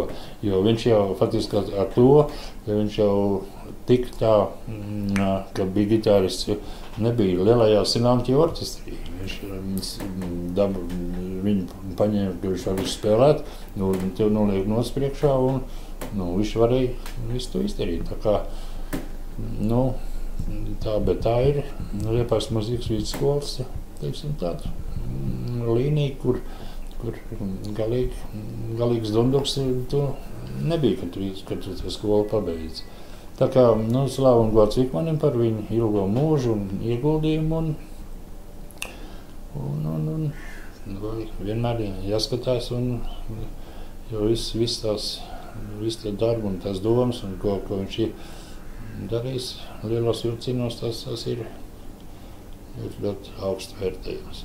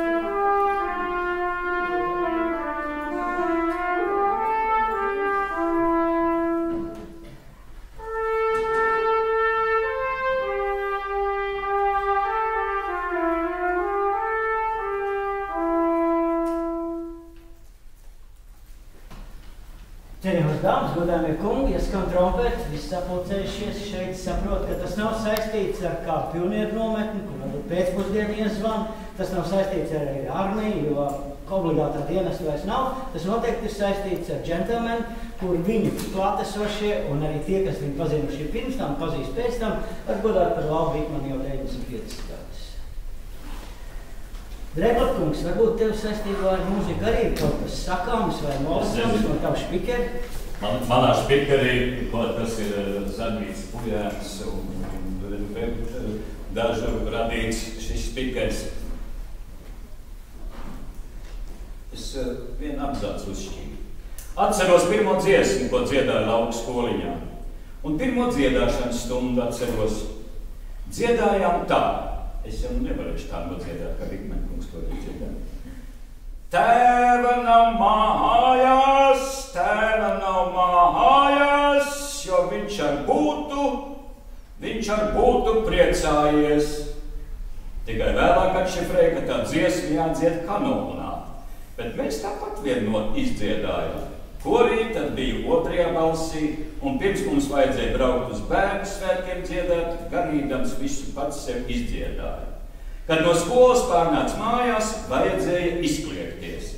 Mājās nedrīkstēja, tad tik uz mežu prom un aurē. Lūk, kā, jūs saprotat, godējumie klātesošie, viss ir saistīts ar mūziku, un savādāk jau nemaz nevar būt skolotājs, direktors. Droši vien, ja viņš būtu palicis Rujienā, būtu Rujienas trio. Mums ir Liepājas trio. Lūdzu. Thank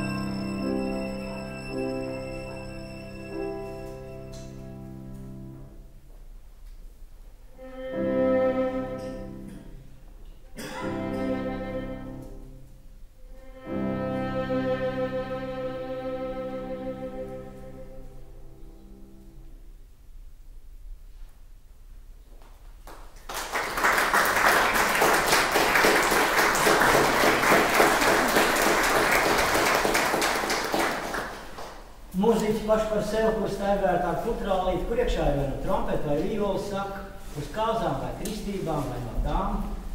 Šoreiz meitenes gaišas ar vasarīgu muziku gluži kā liepājas vasarā kādreiz ar maistro pēc dirģentu pulku. Taču šoreiz par grāmatiņu nedaudz tumšāk, bet iekšā viņi ir ļoti, ļoti gaiši.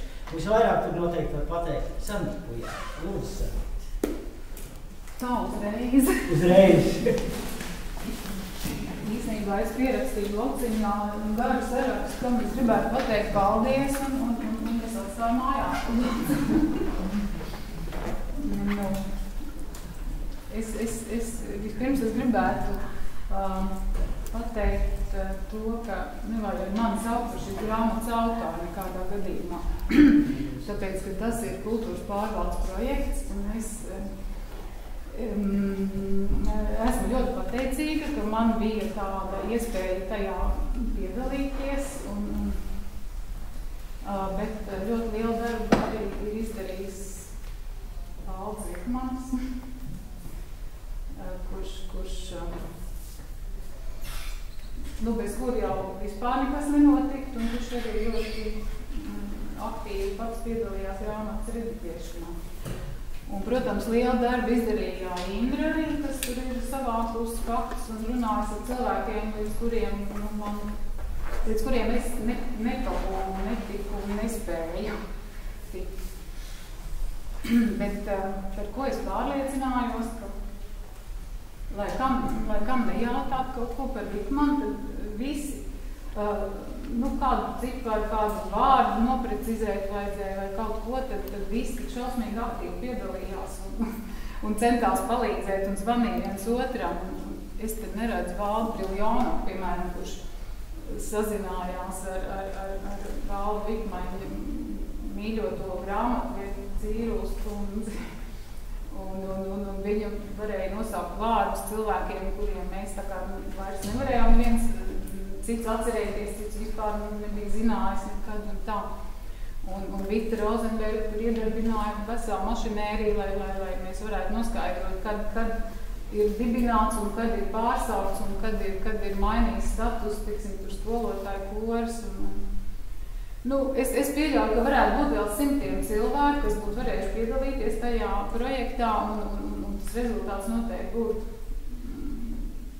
grandiozāks nekā viņš ir šobrīd varbūt. Bet nu, viss notiek tā, kā tam jānotiek, un, un tāda ir arī šī grāmata.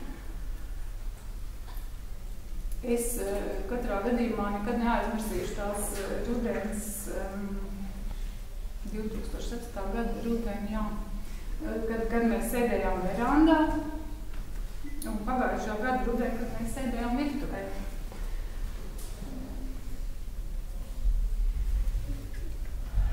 Un, un tie cilvēki, kam man vajadzēja teikt paldies, nu, tā kā man tas saraksts nav, es, es, es vairs nevaru restaurēt viņu. Un, un, um, bet viena no tiem cilvēkiem bija Rujienas vidusskolas skolotājs Silva Liepiņa.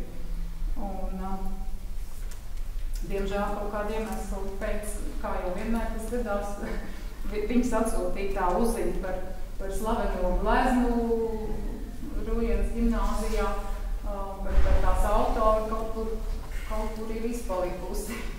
Bet viņi atsūtīja arī vienu dzējoli. Es vienkārši šausmas haotiskās runas noslēgumā.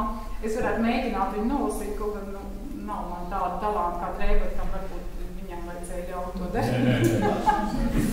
Bet um, ar vārdu sakot, mums Liepājā, protams, ir dzējnieku daudz un, un, un varbūt vairāk kā jebkurā citā vietā, tāpat kā mūzika. Bet arī Rūjienā ir dzējnieki. Ne tikai mūsu ilgadējais skolas direktors no turienes nāk. Un tur ir tāds Kārlis Kalnietis, kurš atcerēja dzējoli skolai. Nu, te ir trīs panti, es biju domājis nolasīt vismaz pēdējo, bet nu, varbūt, ka es saņemšos un, un jūs arī un, un, un noklausīsieties visas trīs, jo tas attiecās tieši arī uz balvu. Lai kur un kā ik viens mēs slavēti un rāti kaut laikos dažādos, bet kādreiz visiem mums te vērti gaismas vārti, spārni kaldināti, te visiem iesācies reiz lielais lidojums. Kā graudi apcirknī, kā bites savā stropā, kā ziedi vainagā, kas svētku godam pīts, Mēs, kas vēl dzīvi, atkal visi esam kopā, lai pateiktos par labo, kas te atraisīts. Lai šodien pasakām ar lepnumu un tieši, mums rūveniešiem būtu svēts pienākums un gods, lai kādos vējos sviesti esam rūvenieši, mūžu savai tautai dzīvot, savai zemē dots.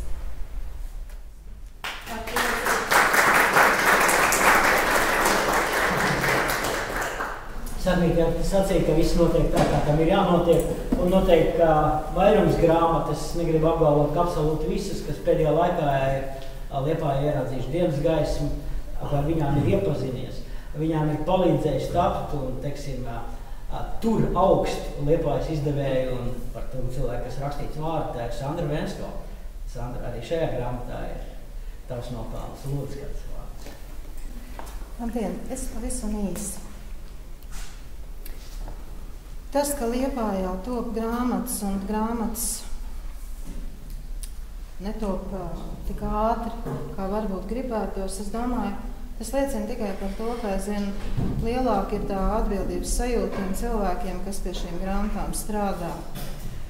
Un tad, kad es, tad, kad es, kad man lūdzu pie, strādāt pie šīs grāmatas, Tas nemaz nebija tik sen. Ir, tas ir pagājušā gada nogala. Un, un es pašā sākumā nevarēju saprast, kas tas ir par žanru un kā tā grāmata veidosies, un kas tur trūkst un kā tur ir par daudz.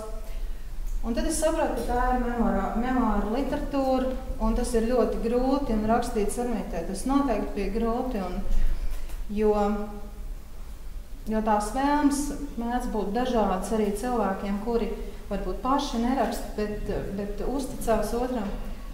Un tā tas viss gāja, un, un, un tā grāmata ripinājās un ripinājās un ripinājās, kamēr es sapratu arī to, ka tie cilvēki, kas man palīdzēja šai grāmatai tapt, tas ir Rihards Bargais, kurš nav, manuprāt, Rihards, es neredzu viņu, viņš ir arī no mūsu cunts, no rakstniekiem, un, un ir daudz grāmatu sagatavojis, un paldies viņam par to, ka arī no viņa puses nāca daudz tiem papildinājumu, kas ir grāmatai vajadzīgs. Tāpat gribu pateikt Ilzai Klepikovai ļoti lielu paldies, jo viņa meklēja un meklēja tās kļūdas, un tomēr, manuprāt, viena kļūdas ieraudzīja, apsāpējās sirds. Un, uh, gala rezultātā man ir jāsaka arī Vikmaņa ģimenei ļoti liels paldies arī jums, Blāzum, par tiem daudzajiem vārdiem, kurus mēs, mēs bīdījām šo grāmatu turp, šurp, turp, šurp. Un, un, Kā zināms, tad, kad grāmata jau nav gan arī gatava, ir ļoti grūti viņu vēl, vēl sakārtot un pārkārtot, bet ko varējām, to visu izdarījām. Un, un es domāju, ka katram lasītājam grāmata ir domāta pirmkārt lasītājiem, pēc tam tā ir domāta cilvēkiem, kas viņu ir veidojuši. Tāpēc, tāpēc tie, kas lasīs šo grāmatu, lasiet, vērtējiet, uzdodiet jautājumus varbūt pašam Eh, grāmatas vaininiekam, tad ar laiku jums radīsies kādi jautājumi. Un tur ir arī plašs izziņu materiāls un tik daudz cilvēku dzīvē ir vēl Vikmaņa dzīvē bijuši. Un man patīk teksts, kad Valds Vigmans, manuprāt, jūs to teicāt, ka tā ir tā labākās daļa, ja? tas personu rādītājs cilvēki, ar kuriem Valds Vigmans ir dzīvē ticies.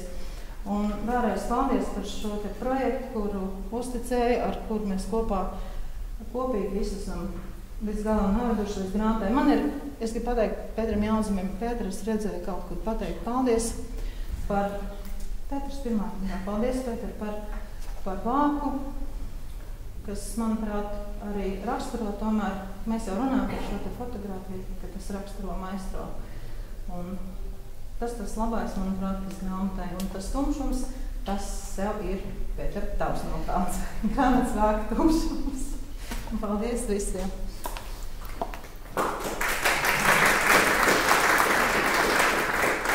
Paldies, Sandrai. Un Drebatkungs, nu kaut ko intrigai. Mājās jau noteikti daudz šokar lasījis un gaismas tik ātri nenodzisīs.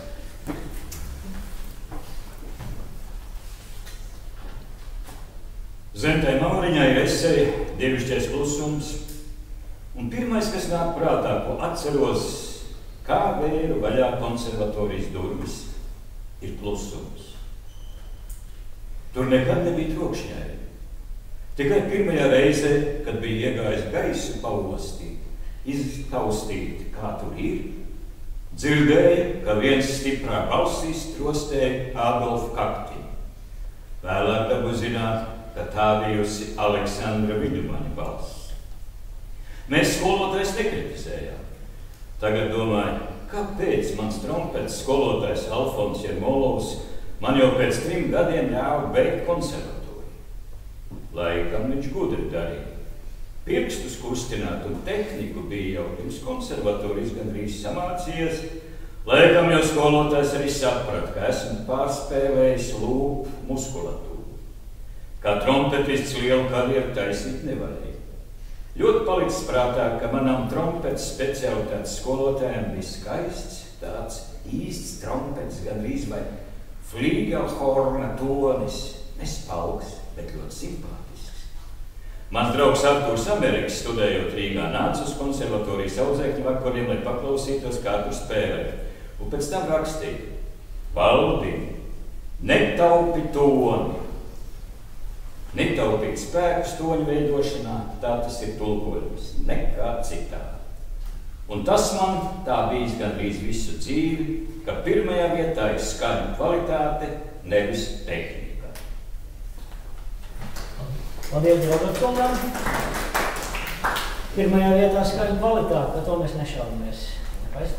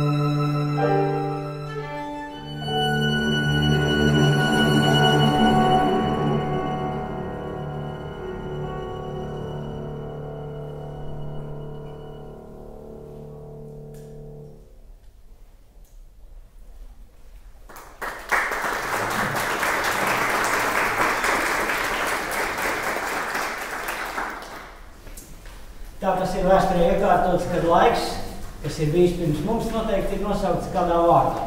Man ir grūti pateikt, kā tas laiks nu, no lielāka attāluma tas, kurā mēs dzīvojam, tiks nosaukts. Bet ir laiks, kas ir vērčī laiks, un tagad mēs to atminamies, liekot arī dažādas, teiksim, pazīšanās zīmes pie viņu mājām, ir Ulika laiks, brīvvalsts laiks dalās arī, teiksim, Vismina laiks, Eniņa laiks, Seska laiks.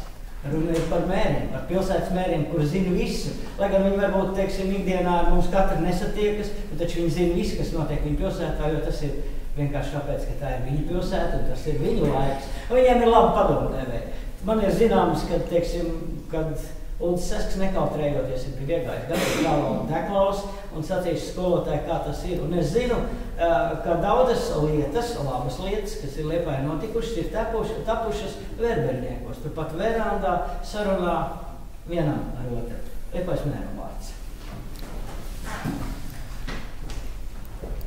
Jā, valsts kā izpļāpājās. Mums kāda, kāda noslēpuma arī ar cienīgo maistro. Bet tiešām tā kā mums kā, tā kā vīrs un vārds, ja mēs sarunājam, tad mēs tiekamies šodien. Mēs tagad diezgan jau Un, un tiksimies, protams, arī šovasar pie, jums. Un, es ar prieku šodien palasīšu to grāmatu, tik man Deklatkungs tā, tā parādīs, bet dažās lapās izlasīju tādas dažas lietas, kuras man tā īpaši intriģēja. Par Rujienas pusi, par naukšaņiem. Un uh, man, man vecā māte īstenībā nāk tieši no, no, no tās puses. Es, tad, tad man būs jāpajautā, vai, vai tāda zenta mīlne kaut kur, kaut kur nav, tur netālu, tad esam dzīvojis. Mājas atceries? Jā, jā, jā. jā. Nu, turienes, ka viņus Sibīri tālāk aizsargīja, bet viņi to stāst. Nu jā, tā kā es esmu priecīgs būt kopā ar maistro šodien un, un kopā ar jums, un tad mazliet dāvnīgs es atnesis, bet, bet to īsto, to, to es tomēr teikšu, tā kā, tā kā uz, uz ausi, kad, kad mēs iebrauksim. Tagad būs izlasīgs līdz to, kā, tad maz dāvnīgi.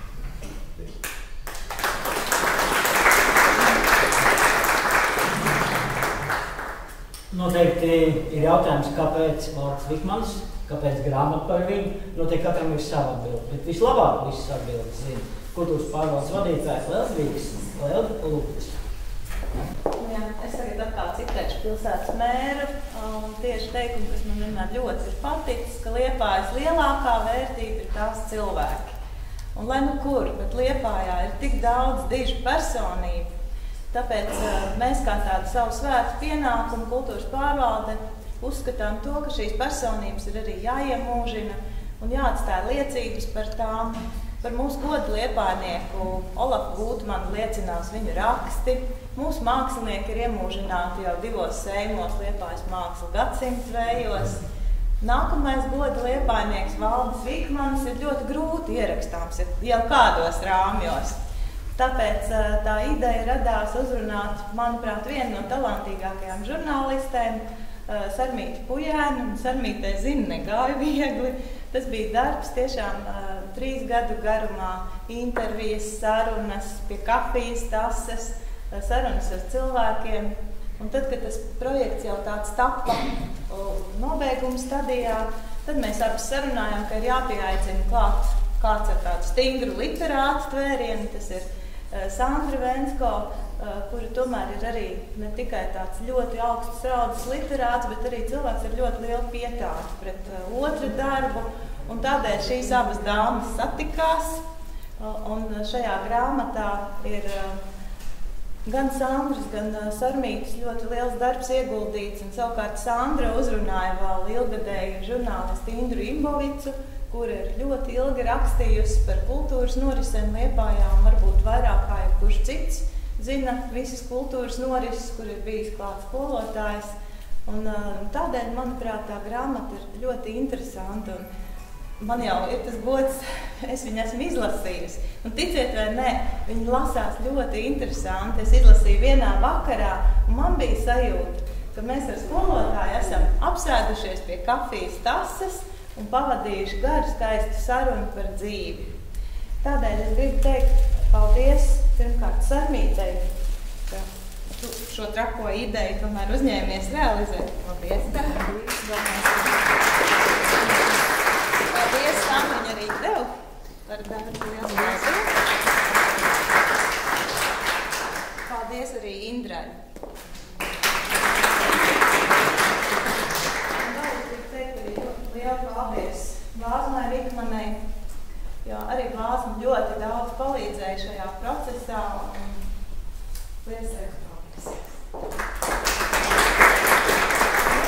Un vislielākais paldies, protams, skolotājiem Valdim Rikmanim par to, ka viņš ir uzticējis mums savu dzīvi, savas pārdomas, savas idejas. Lielas paldies!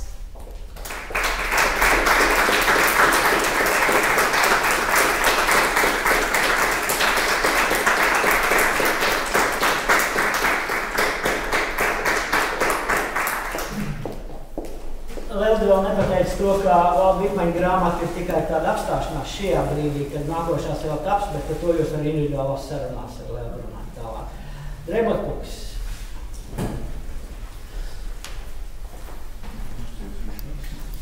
Grāmatā ir nodaļas skolas direktors. Pavēlu par mani iecelšanu muzikas skolas direktora amatā parakstīja 1945. gada 10. maijā zem Annas baznīcas sliepā. Staigājām, meklējām piemērotu vietu skolai. Komisija, kāda četri vai pieci cilvēki, starp viņiem arī Oskars Zviedris. Viņam toreiz bija arī tas dokuments. Viss nodaļas nelasīšu, te ir daudz pārskatu par tevi. Viens, dažas rīkopas. Bija arī kritiski momenti. Ne jau vienmēr visiem bija paprātā. Saskaitīt. Par nostrādātiem gadiem man ir bijuši 13 rājieni.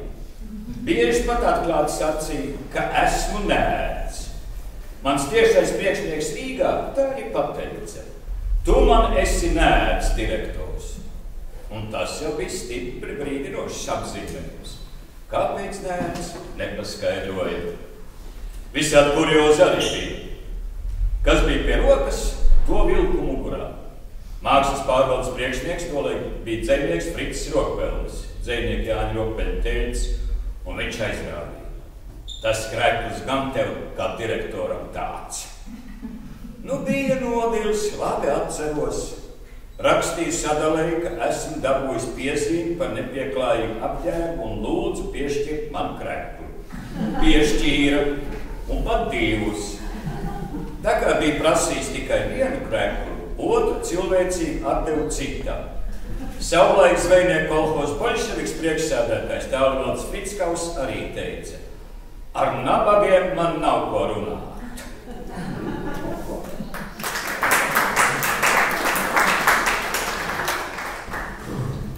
Viens cilvēks, kurš daudz runās, jau ir pieminēts, un kurš noteikti to grāmatu jau ir izlasījis nevienu vienu reizi un pārdzīvojis jau noteikti katru rindkopu, katru grāmatas lapus. Lāzums.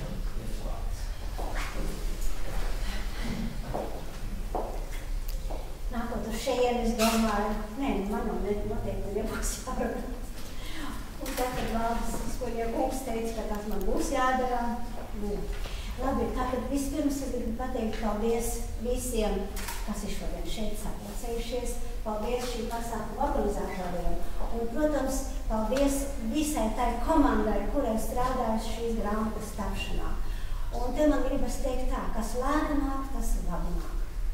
Un šī grāmata patiešām te jau tika pieminēts, kad tika sākta rakstīt un kad veidota. Un, protams, bija jau uzlikti citi grāmatas izdošanas termiņi, bet kaut kā tur tās lietiņas vēl joprojām bija procesā un vienmēr gribējās, lai būtu labāk, lai būtu pilnīgāk, lai būtu korektāk, lai būtu maksimāli pieminētas visas tās personības, kuras ir tajā personu sarakstā, bet, nu, jā, protams, tad tā grāmata droši vien būtu arī biezāka bijusi un droši vien tik lielu, kā saka, to apjomu nemaz tā neļāva izvērsties tik plaši un, protams, uh, arī personu rādītājs tad varbūt būtu vismaz par kādu trešdaļu vairāk. Ai, nu jā, protams, runājot par mani, nu, centos no labākās sirds, apziņas palīdzēt, cik es te zināju un cik es sapratu, jo es jau būtībā pārnācu uz Liepāju dzīvot un kļuvu par Vikmani, tā, protams, par Vikmani kundzi, ja. 75. gadā es atnācu šeit, nu, ar Vikmaņa kundzi kļuva mazliet drusku agrāk, un tāpēc uh, tie notikumi, kas ir pēc šī perioda, tie vairāk vai mazāk man ir nu, tā, skaidri. Par iepriekšējo gadu notikumiem es varu vairāk balstīties uz to, ko pats Vikmaņa kungs ir daudz mm, dažādās ja, situācijās stāstījis un atkārtojis, un būtībā man jau ir radusies tāda izjūta, ka es arī pat esmu tur iekšā bijusi, ka es tos visus notikumus pat esmu pieredzējusi, un viņi man visi ir jau, jau kā saka, sen galvā. Un ja man kungs kaut ko sāk stāstīt, tad jau no pirmajiem vārdiem es jau zinu, kas tur būs tālāk, ja par ko viņš runās.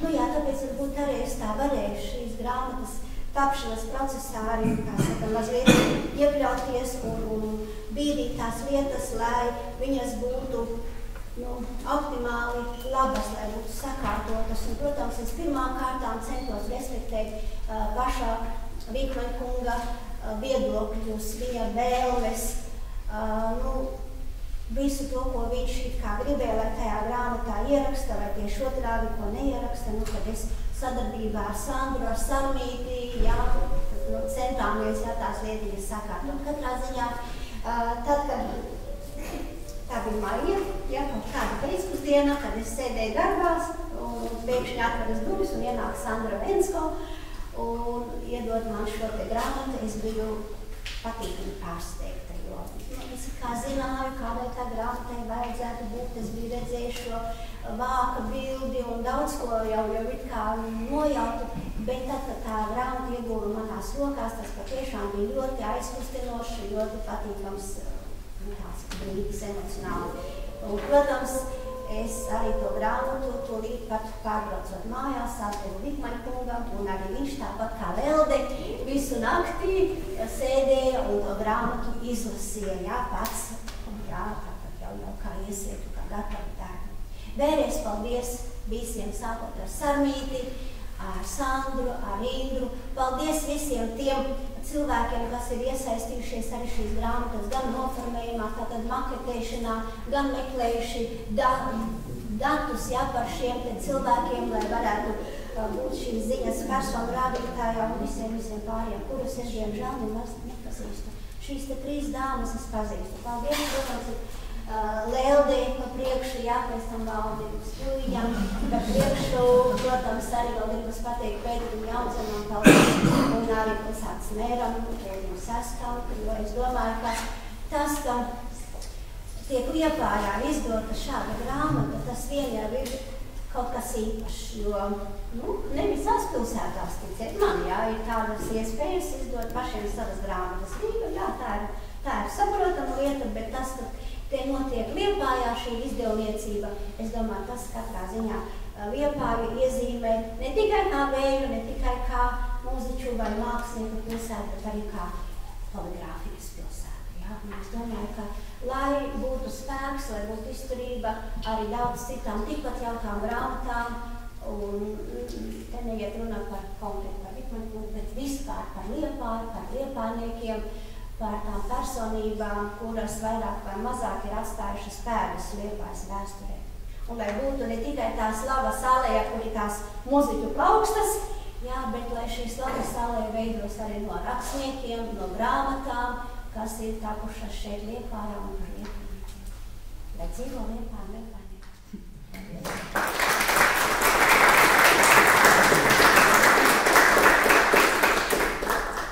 Paldies, Blāzmas kundze.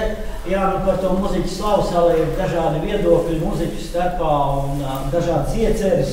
E, varbūt, ka tā ir jāpasaka, doma ir tāda, ka ir tās plaukstas un tās plaukstas, kā jau ir ierakstīts pašā uh, nolikumā par šo muziķu slavu salē, tiks papildinātas, bet ir tāds viedoklis, ka to alējas galā vajadzētu pieminekli. Es varbūt nenosaukšu, kam tas piemineklis, jūs lieliski saprotat Arī man ir bijis tas gods eh, teiksim, būt to cilvēku starpā, eh, pie kura Valds Vikmans vai nu pazvan vai pienāk un jautā, dzersim kafiju. Un mēs bieži ar Aivaru Hermanu runājam, viņš saka, ja mēs paliksim vēsturē, tad tikai tāpēc, ka mēs esam pazinuši kādus cilvēkus, kas varbūt mums kādreiz ir atļāvies savā gaitā uzaicināt uz kafijas tās. Vikmaņa kungs, vārds jums.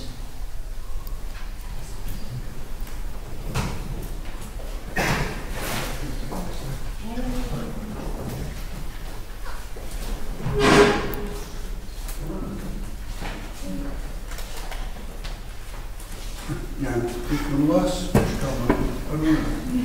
Es jau neko citu nevaru tā izstāstīt, kā tikai nu, pats par sevi kaut ko. Ir pat jauts un putnoja un tāda gara dzīve, tas ir jau saprotams, ka var jau jaukties un un ar to biogrāfijas stāstīšanu man jau raibiet. Es iesākt varu, nevar nobeigt un es parasti tur vienmēr sev blakus Un tā man piebīst, ka nu pat jāmet mirs, tad es beidzu, iztaisu bātāt kadeņus un met mieru. Tālāk, ka tā tā biogrāfa un ilgo dzīvošana. Un, bet tik daudz un var pateikt, ka kas es esmu, ne, ne sarkans, ne balts, ne oranžs, bet es, es tomēr esmu pelēkais. Un pelēkais nu, no daudziem. Tādi mēs esam daudz, mēs esam ļoti daudz. Mēs esam daudz un stipri. Mēs pelēki esam granītā. Mēs esam ar mīlestību labām domām un sirstību ielsti mūsu mātēm, mātes un vecmāmuļu lielos lakatos ar visām bārkstīm. Šie lakati pasargā un silda gan lielos, gan mazos ganības.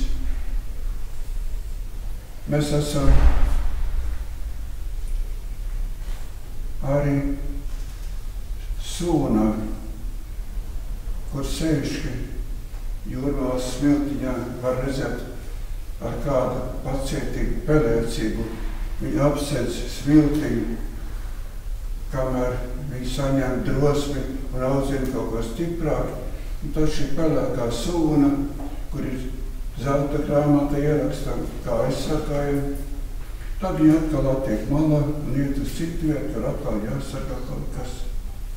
Mēs esam arī mīklu slāni, kuri tādi viss spilgtāks pa sevi stāst rudeņos, kad vālēm viņi veļās un aizsargā visu to, kas ir sargājams, atgādina mums, lai mēs atskatāmies gan sev, gan kad tas pienākas, īpaši pagātnē, lai mācētu sarunāties ar mūsu ar veļu, ar veļiem. Nu, tādi mēs esam. Es personīgi uzskatu, nu, ja domāju, par ko tad vajadzētu visvairāk rakstīt, protams, par, par vecākiem, jā, no visas sirds. Un ir arī nu, tāds zināms lepnums, un kad Leotas kundze ir ar savu komandu izvēlēsies taisni mani. Līdz ar to arī šo stipro pelēcību. Man par to es visiem no sirds pateicos, kas mēģināja man atšifrēt. Un tā, to jau visi tā vai tas viss ir, ir tieši tā, kā eh, rakstīts, bet to nav rakstītājs saputrojuši. To es esmu stāstāt pats putrojis un atkal kriest un visādi. Tā kā visas nepilnības un kļūdas uh, to objektīvi dodiet uz, bet ne uz rakstītāju rēķinu. Bet, nu, kādi ir tādi, ko te vajag labot, jo tomēr šī, šī grāmata ir, nu, es jau ar lepnumu tur rokās. Es pats nezināju, ka tik daudz ir, ir labs pa manīm. Un tad es iedomājos, cik daudz ir labāki par manīm. Tā kā rakstīšana ir tikai iesākusies starp pelēkiem akmeņiem un mātes lieliem lakatiem, sūņu pauguriņiem un miglas vālēm ir daudz, daudz zelta gabaliņu. Lielda iesaku iegriezties savā cimtā vainodiem, tur ir skulptūras svētki.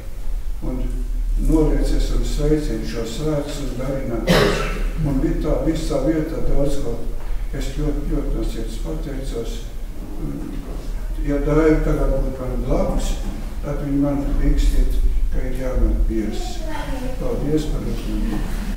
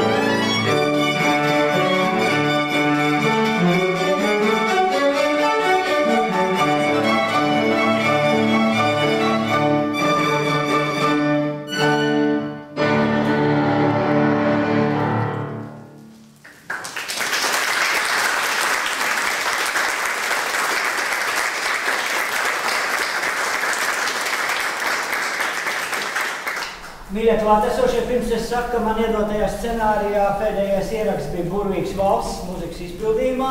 Es gribu teikt, ka pirms es to pasaku, ka ir iespējams iegādāties grāmatas, kad ir iespējams paņemt vilnu, vīnu glāzi, ūdens glāzi, kafijas glāzi, pēc tam ir iespējams doties pie maistro kungu, lai ierakst. Viņš jums noteikti pateiks tā, ierakst pats, ko tu gribi, es tikai parakstīšos. Es dzirdēju, viņš to saka tādā variantā. Bet pirms tas viss notiek, pirms es jums to pasaku, es redzu, ka daudziem ir ziedi, un kāds noteikti vēlas kaut ko teikt. Lūdzu, brīvā skatu. Es drīkst vienu fragmentu vēlreiz. Jā, protams, protams. Es nevaru nociesties. Es uzšķīvi ieraudzīju. Un man gribētu teikt, ka uh, Vikmaņa kungs ir bijis kā fanātiķis, labā nozīmē, ka Liepais patriots nāca no Rujens, kā Liepais mūzikas dzīves tīstītājs, bīdītājs tā tālāk tā joprojām. Un man tomēr gribas šo vienu ritmu nolasīt. Vikmans aizrāvies ar saviem muzikālajiem kolektīviem, tomēr nekad no acīm neizlaiž skolas saimnieciskās lietas. Viņš apskaužam to pratu saviem. Muzikālās lietas ir saimnieciskajā. Viņa rīcība allaž bija arī ar tālējošu skatījumu. Pat atrodoties prom no mājām. 1949. gadā, kad Valdim Vikmanim bija 33 gadi, Viņu aizsūtīja kursos uz Ļeņingradu, tagad Sanktpēterburgu. Jo viņš taču bija Liepais operas orķestra trompetists. Klausoties lekcijas, man vienmēr klāt bija blociņš, kurā ik pa brīdim radās pierakstu un plāni, kas būtu tuvākā un tālākā laikā jādara Liepais mūzikas skolā, orķestros, koros, pilsētas mūzikas dzīvē. Skaidri atceras meistro. Man bija jāsagatavo referāts par Čekovsko operu pīķa dāvām. Ar krievu valodu man vienmēr gājas švaki. Man piesolīja tulku, bet es atteicos. Tobrīd šī opera gāja Liepais teātrī, kur pats spēlēja trompeti. Nemācēja krieviski izstāstīt, toties visu parādīja partitūrā un dabūja augstāko atzīmi. Gandarījums joprojām manāms mūziķu balsī. Un viņš vēl piemetīja. Manā laikā mūzikas vidusskolā tika iestudēts apmēram astoņas operas, arī opera koncertu uzvedumi, kas tika parādīti gan Liepājas teātrī, gan skolas zālē. Zemnieka gods, Aļeko, Figaro Kārs, Čočo Sana un Bēra. Un Dievs dod, ka mums radastos pilsētā tāds fanātiķis kā Vikmaņa kungs, un lai viss šīs vecās tradīcijas atkal atjaunotas.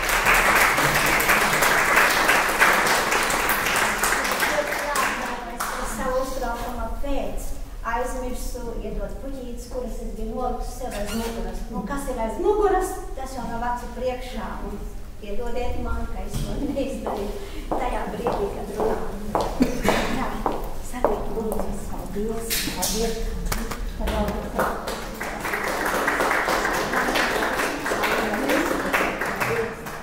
Es esmu daudz reizes izteikusi jā, atzinību par to, ko jūs izdarījāt.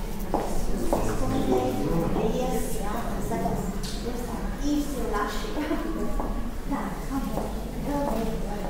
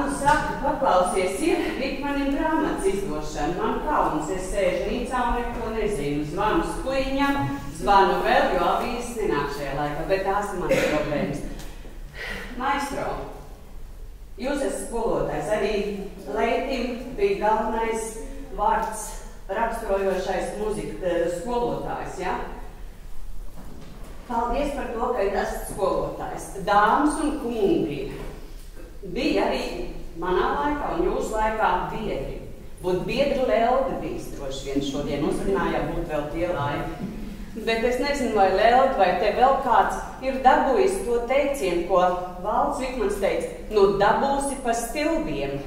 Nu kādas dāmas, kādas kundzes mēs esam. Šodien ir tik mīļš notikums, ja tas vienkārši aizskar. Vai jums tas klips arī vēl izdodas? Tā, ar to roku. nu, tas tā skanēja pa visu kori, gan skolotāju korī, gan skolā. Es esmu vairākus gadus pulkstens astoņos no rīta gājusi uz muzikas skolu un solfeģējusi vingrinājumus. Nekad neaizmirsīšu. Nu, jau man arī tāds laiciņš pagājis.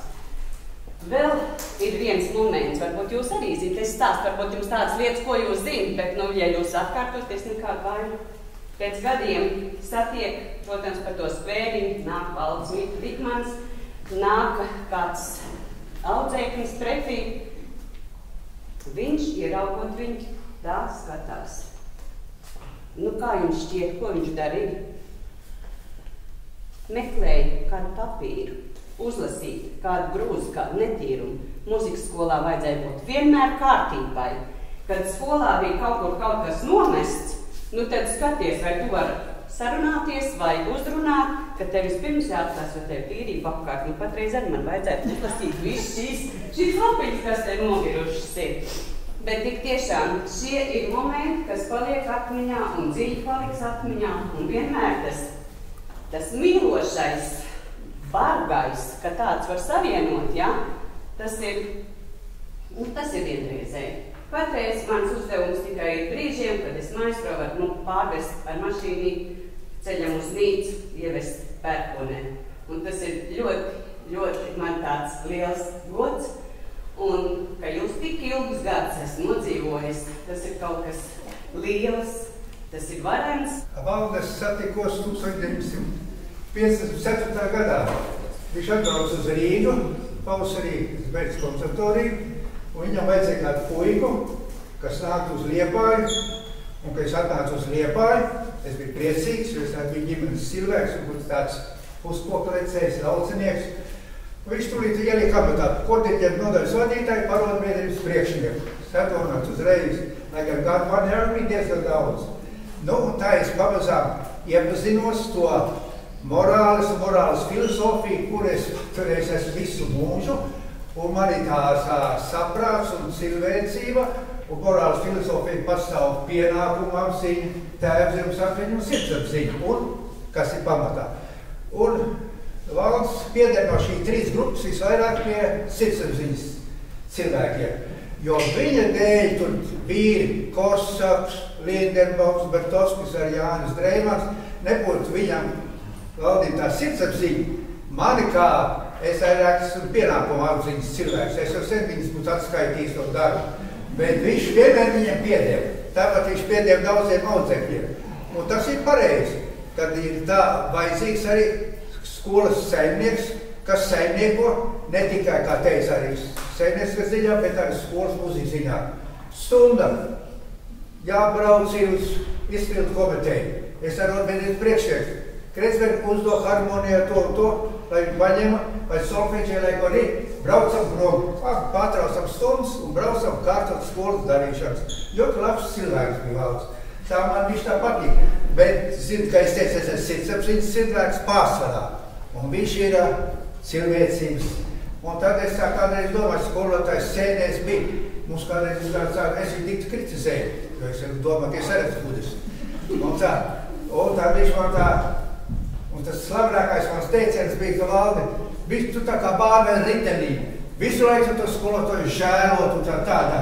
Bet tas ir labi, vai ne? Tikai tāds cilvēks var būt ar sirdsapziņas cilvēks, kas var skolu labi vadīt, kas var tagad vadīt. Un es ko gribu novēlēt tagad ir pilsētas galva mums te, ka vajadzētu šādu sirdsapziņas cilvēkus ar, ar kultūras darbiniekiem ir tagad novērtēt. Un ne tikai šīs biznesmeņus un tos, kaut vai tāds sīkums. Kurzems novada dziesmu svētki.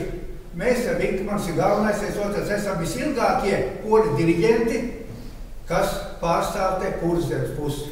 Es jau no 43. gada kori biju kurzems novada dziesmu svētkos, bet aizmirst. Aizmirst, ka vajadzīgi ar kultūras darbinieks paaicināt uz to, bet aizbraukt līdzi mums abiem diviem pārstāvtiem un parunāt, kā tas ir. Es to saku, nebūtu teicis, bet, ka es redzu, ka pilsētas vadītājs priekšā, tad vajag domāt arī tā, kad, kad vajag arī uz priekšu domāt arī par kultūras darbiniekiem, dažādiem, ne tikai par diriģentiem. Un sveic tev vēlreiz, tu esi man daudz labus darījis, es teicu, tev rāju sen, bet tu parodījies priekšniekam tas tā.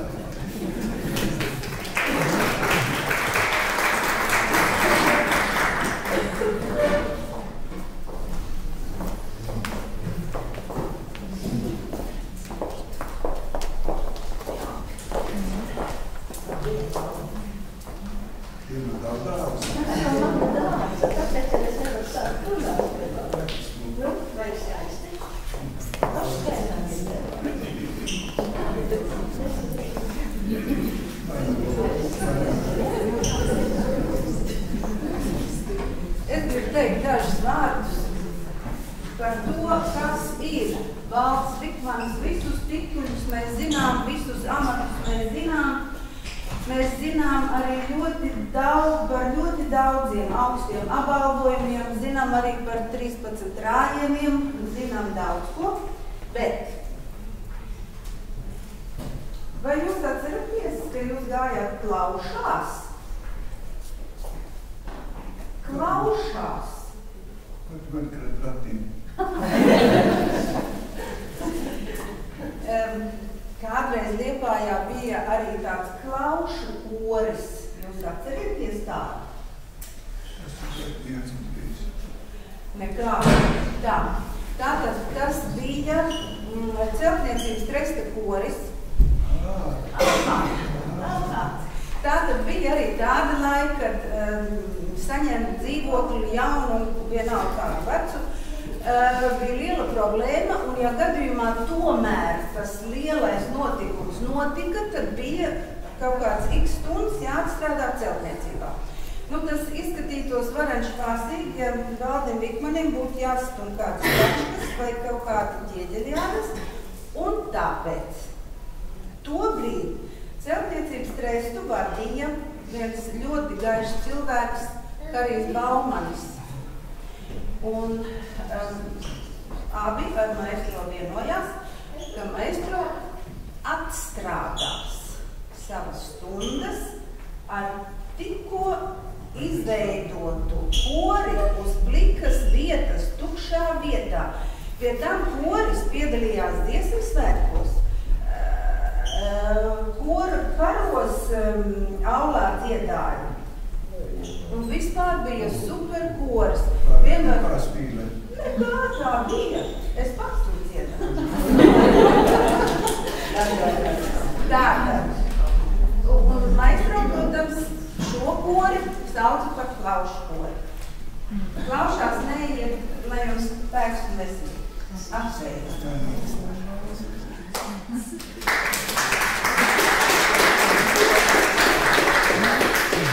Kāpēc mēs ir tā trietā? Mēs esam no, no, no vecā 8. marta kultūras nav. Jā.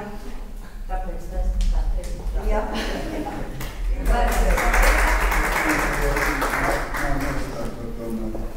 Turpināsim.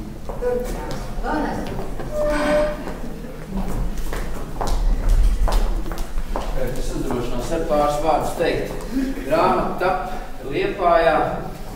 Mēs pērkam skaidri, ūgelītes un priedāji un domājam, ka kaut kas ir jādara un maestro ir teicis, ka kafijas tas, kad to pīt dāmas izrāda būt dūšīgi, gandrīz 9 gadus atspār griezes, un tad mēs apsēdāmies pie kafijas tas vēbriniekos un visu to dzīves stāstu nofiksējam tādā video filmā, un tad iznāk pie grāmatas klāt arī viena filmu stundas garumā, kur pats maestro izstāstīja visu.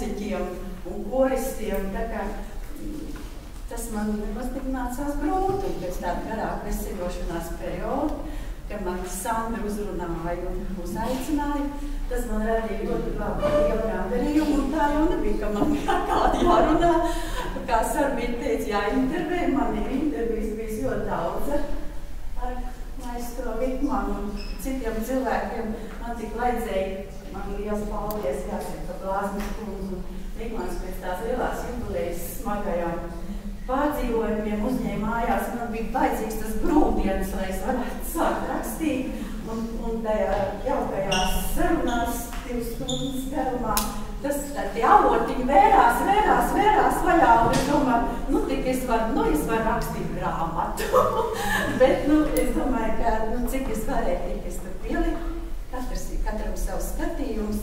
Bet man bija tas liels grāmatījums, liels, liels prieks strādāt. Paldies!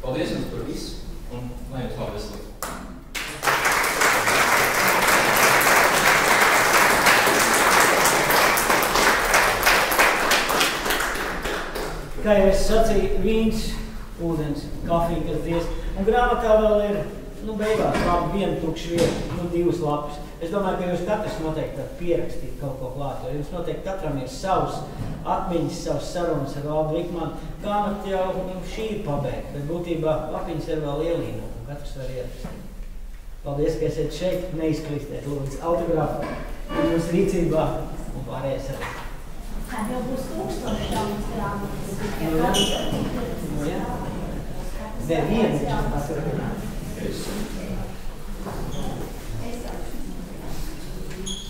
Man jāsaka vārds nābur, jo tas nāk no Vikmaņa kunga. Tā mēs iekūlāmies viņa kaimiņos kāds 20 atpakaļ, vairāk 20, teiksim. Un gājis es pēc viņa pie sērkociņiem, un viņš man vēl joprojām piemin. Nu, ko tad tu atnāc pēc sērkociņiem? Bet nu ne jau par to ir runa, bet paldies, Vikmaņa kungs, par kopā būšanu, par līdzēšanu un par līdzjušanu ar audzētajiem cukurbietēm.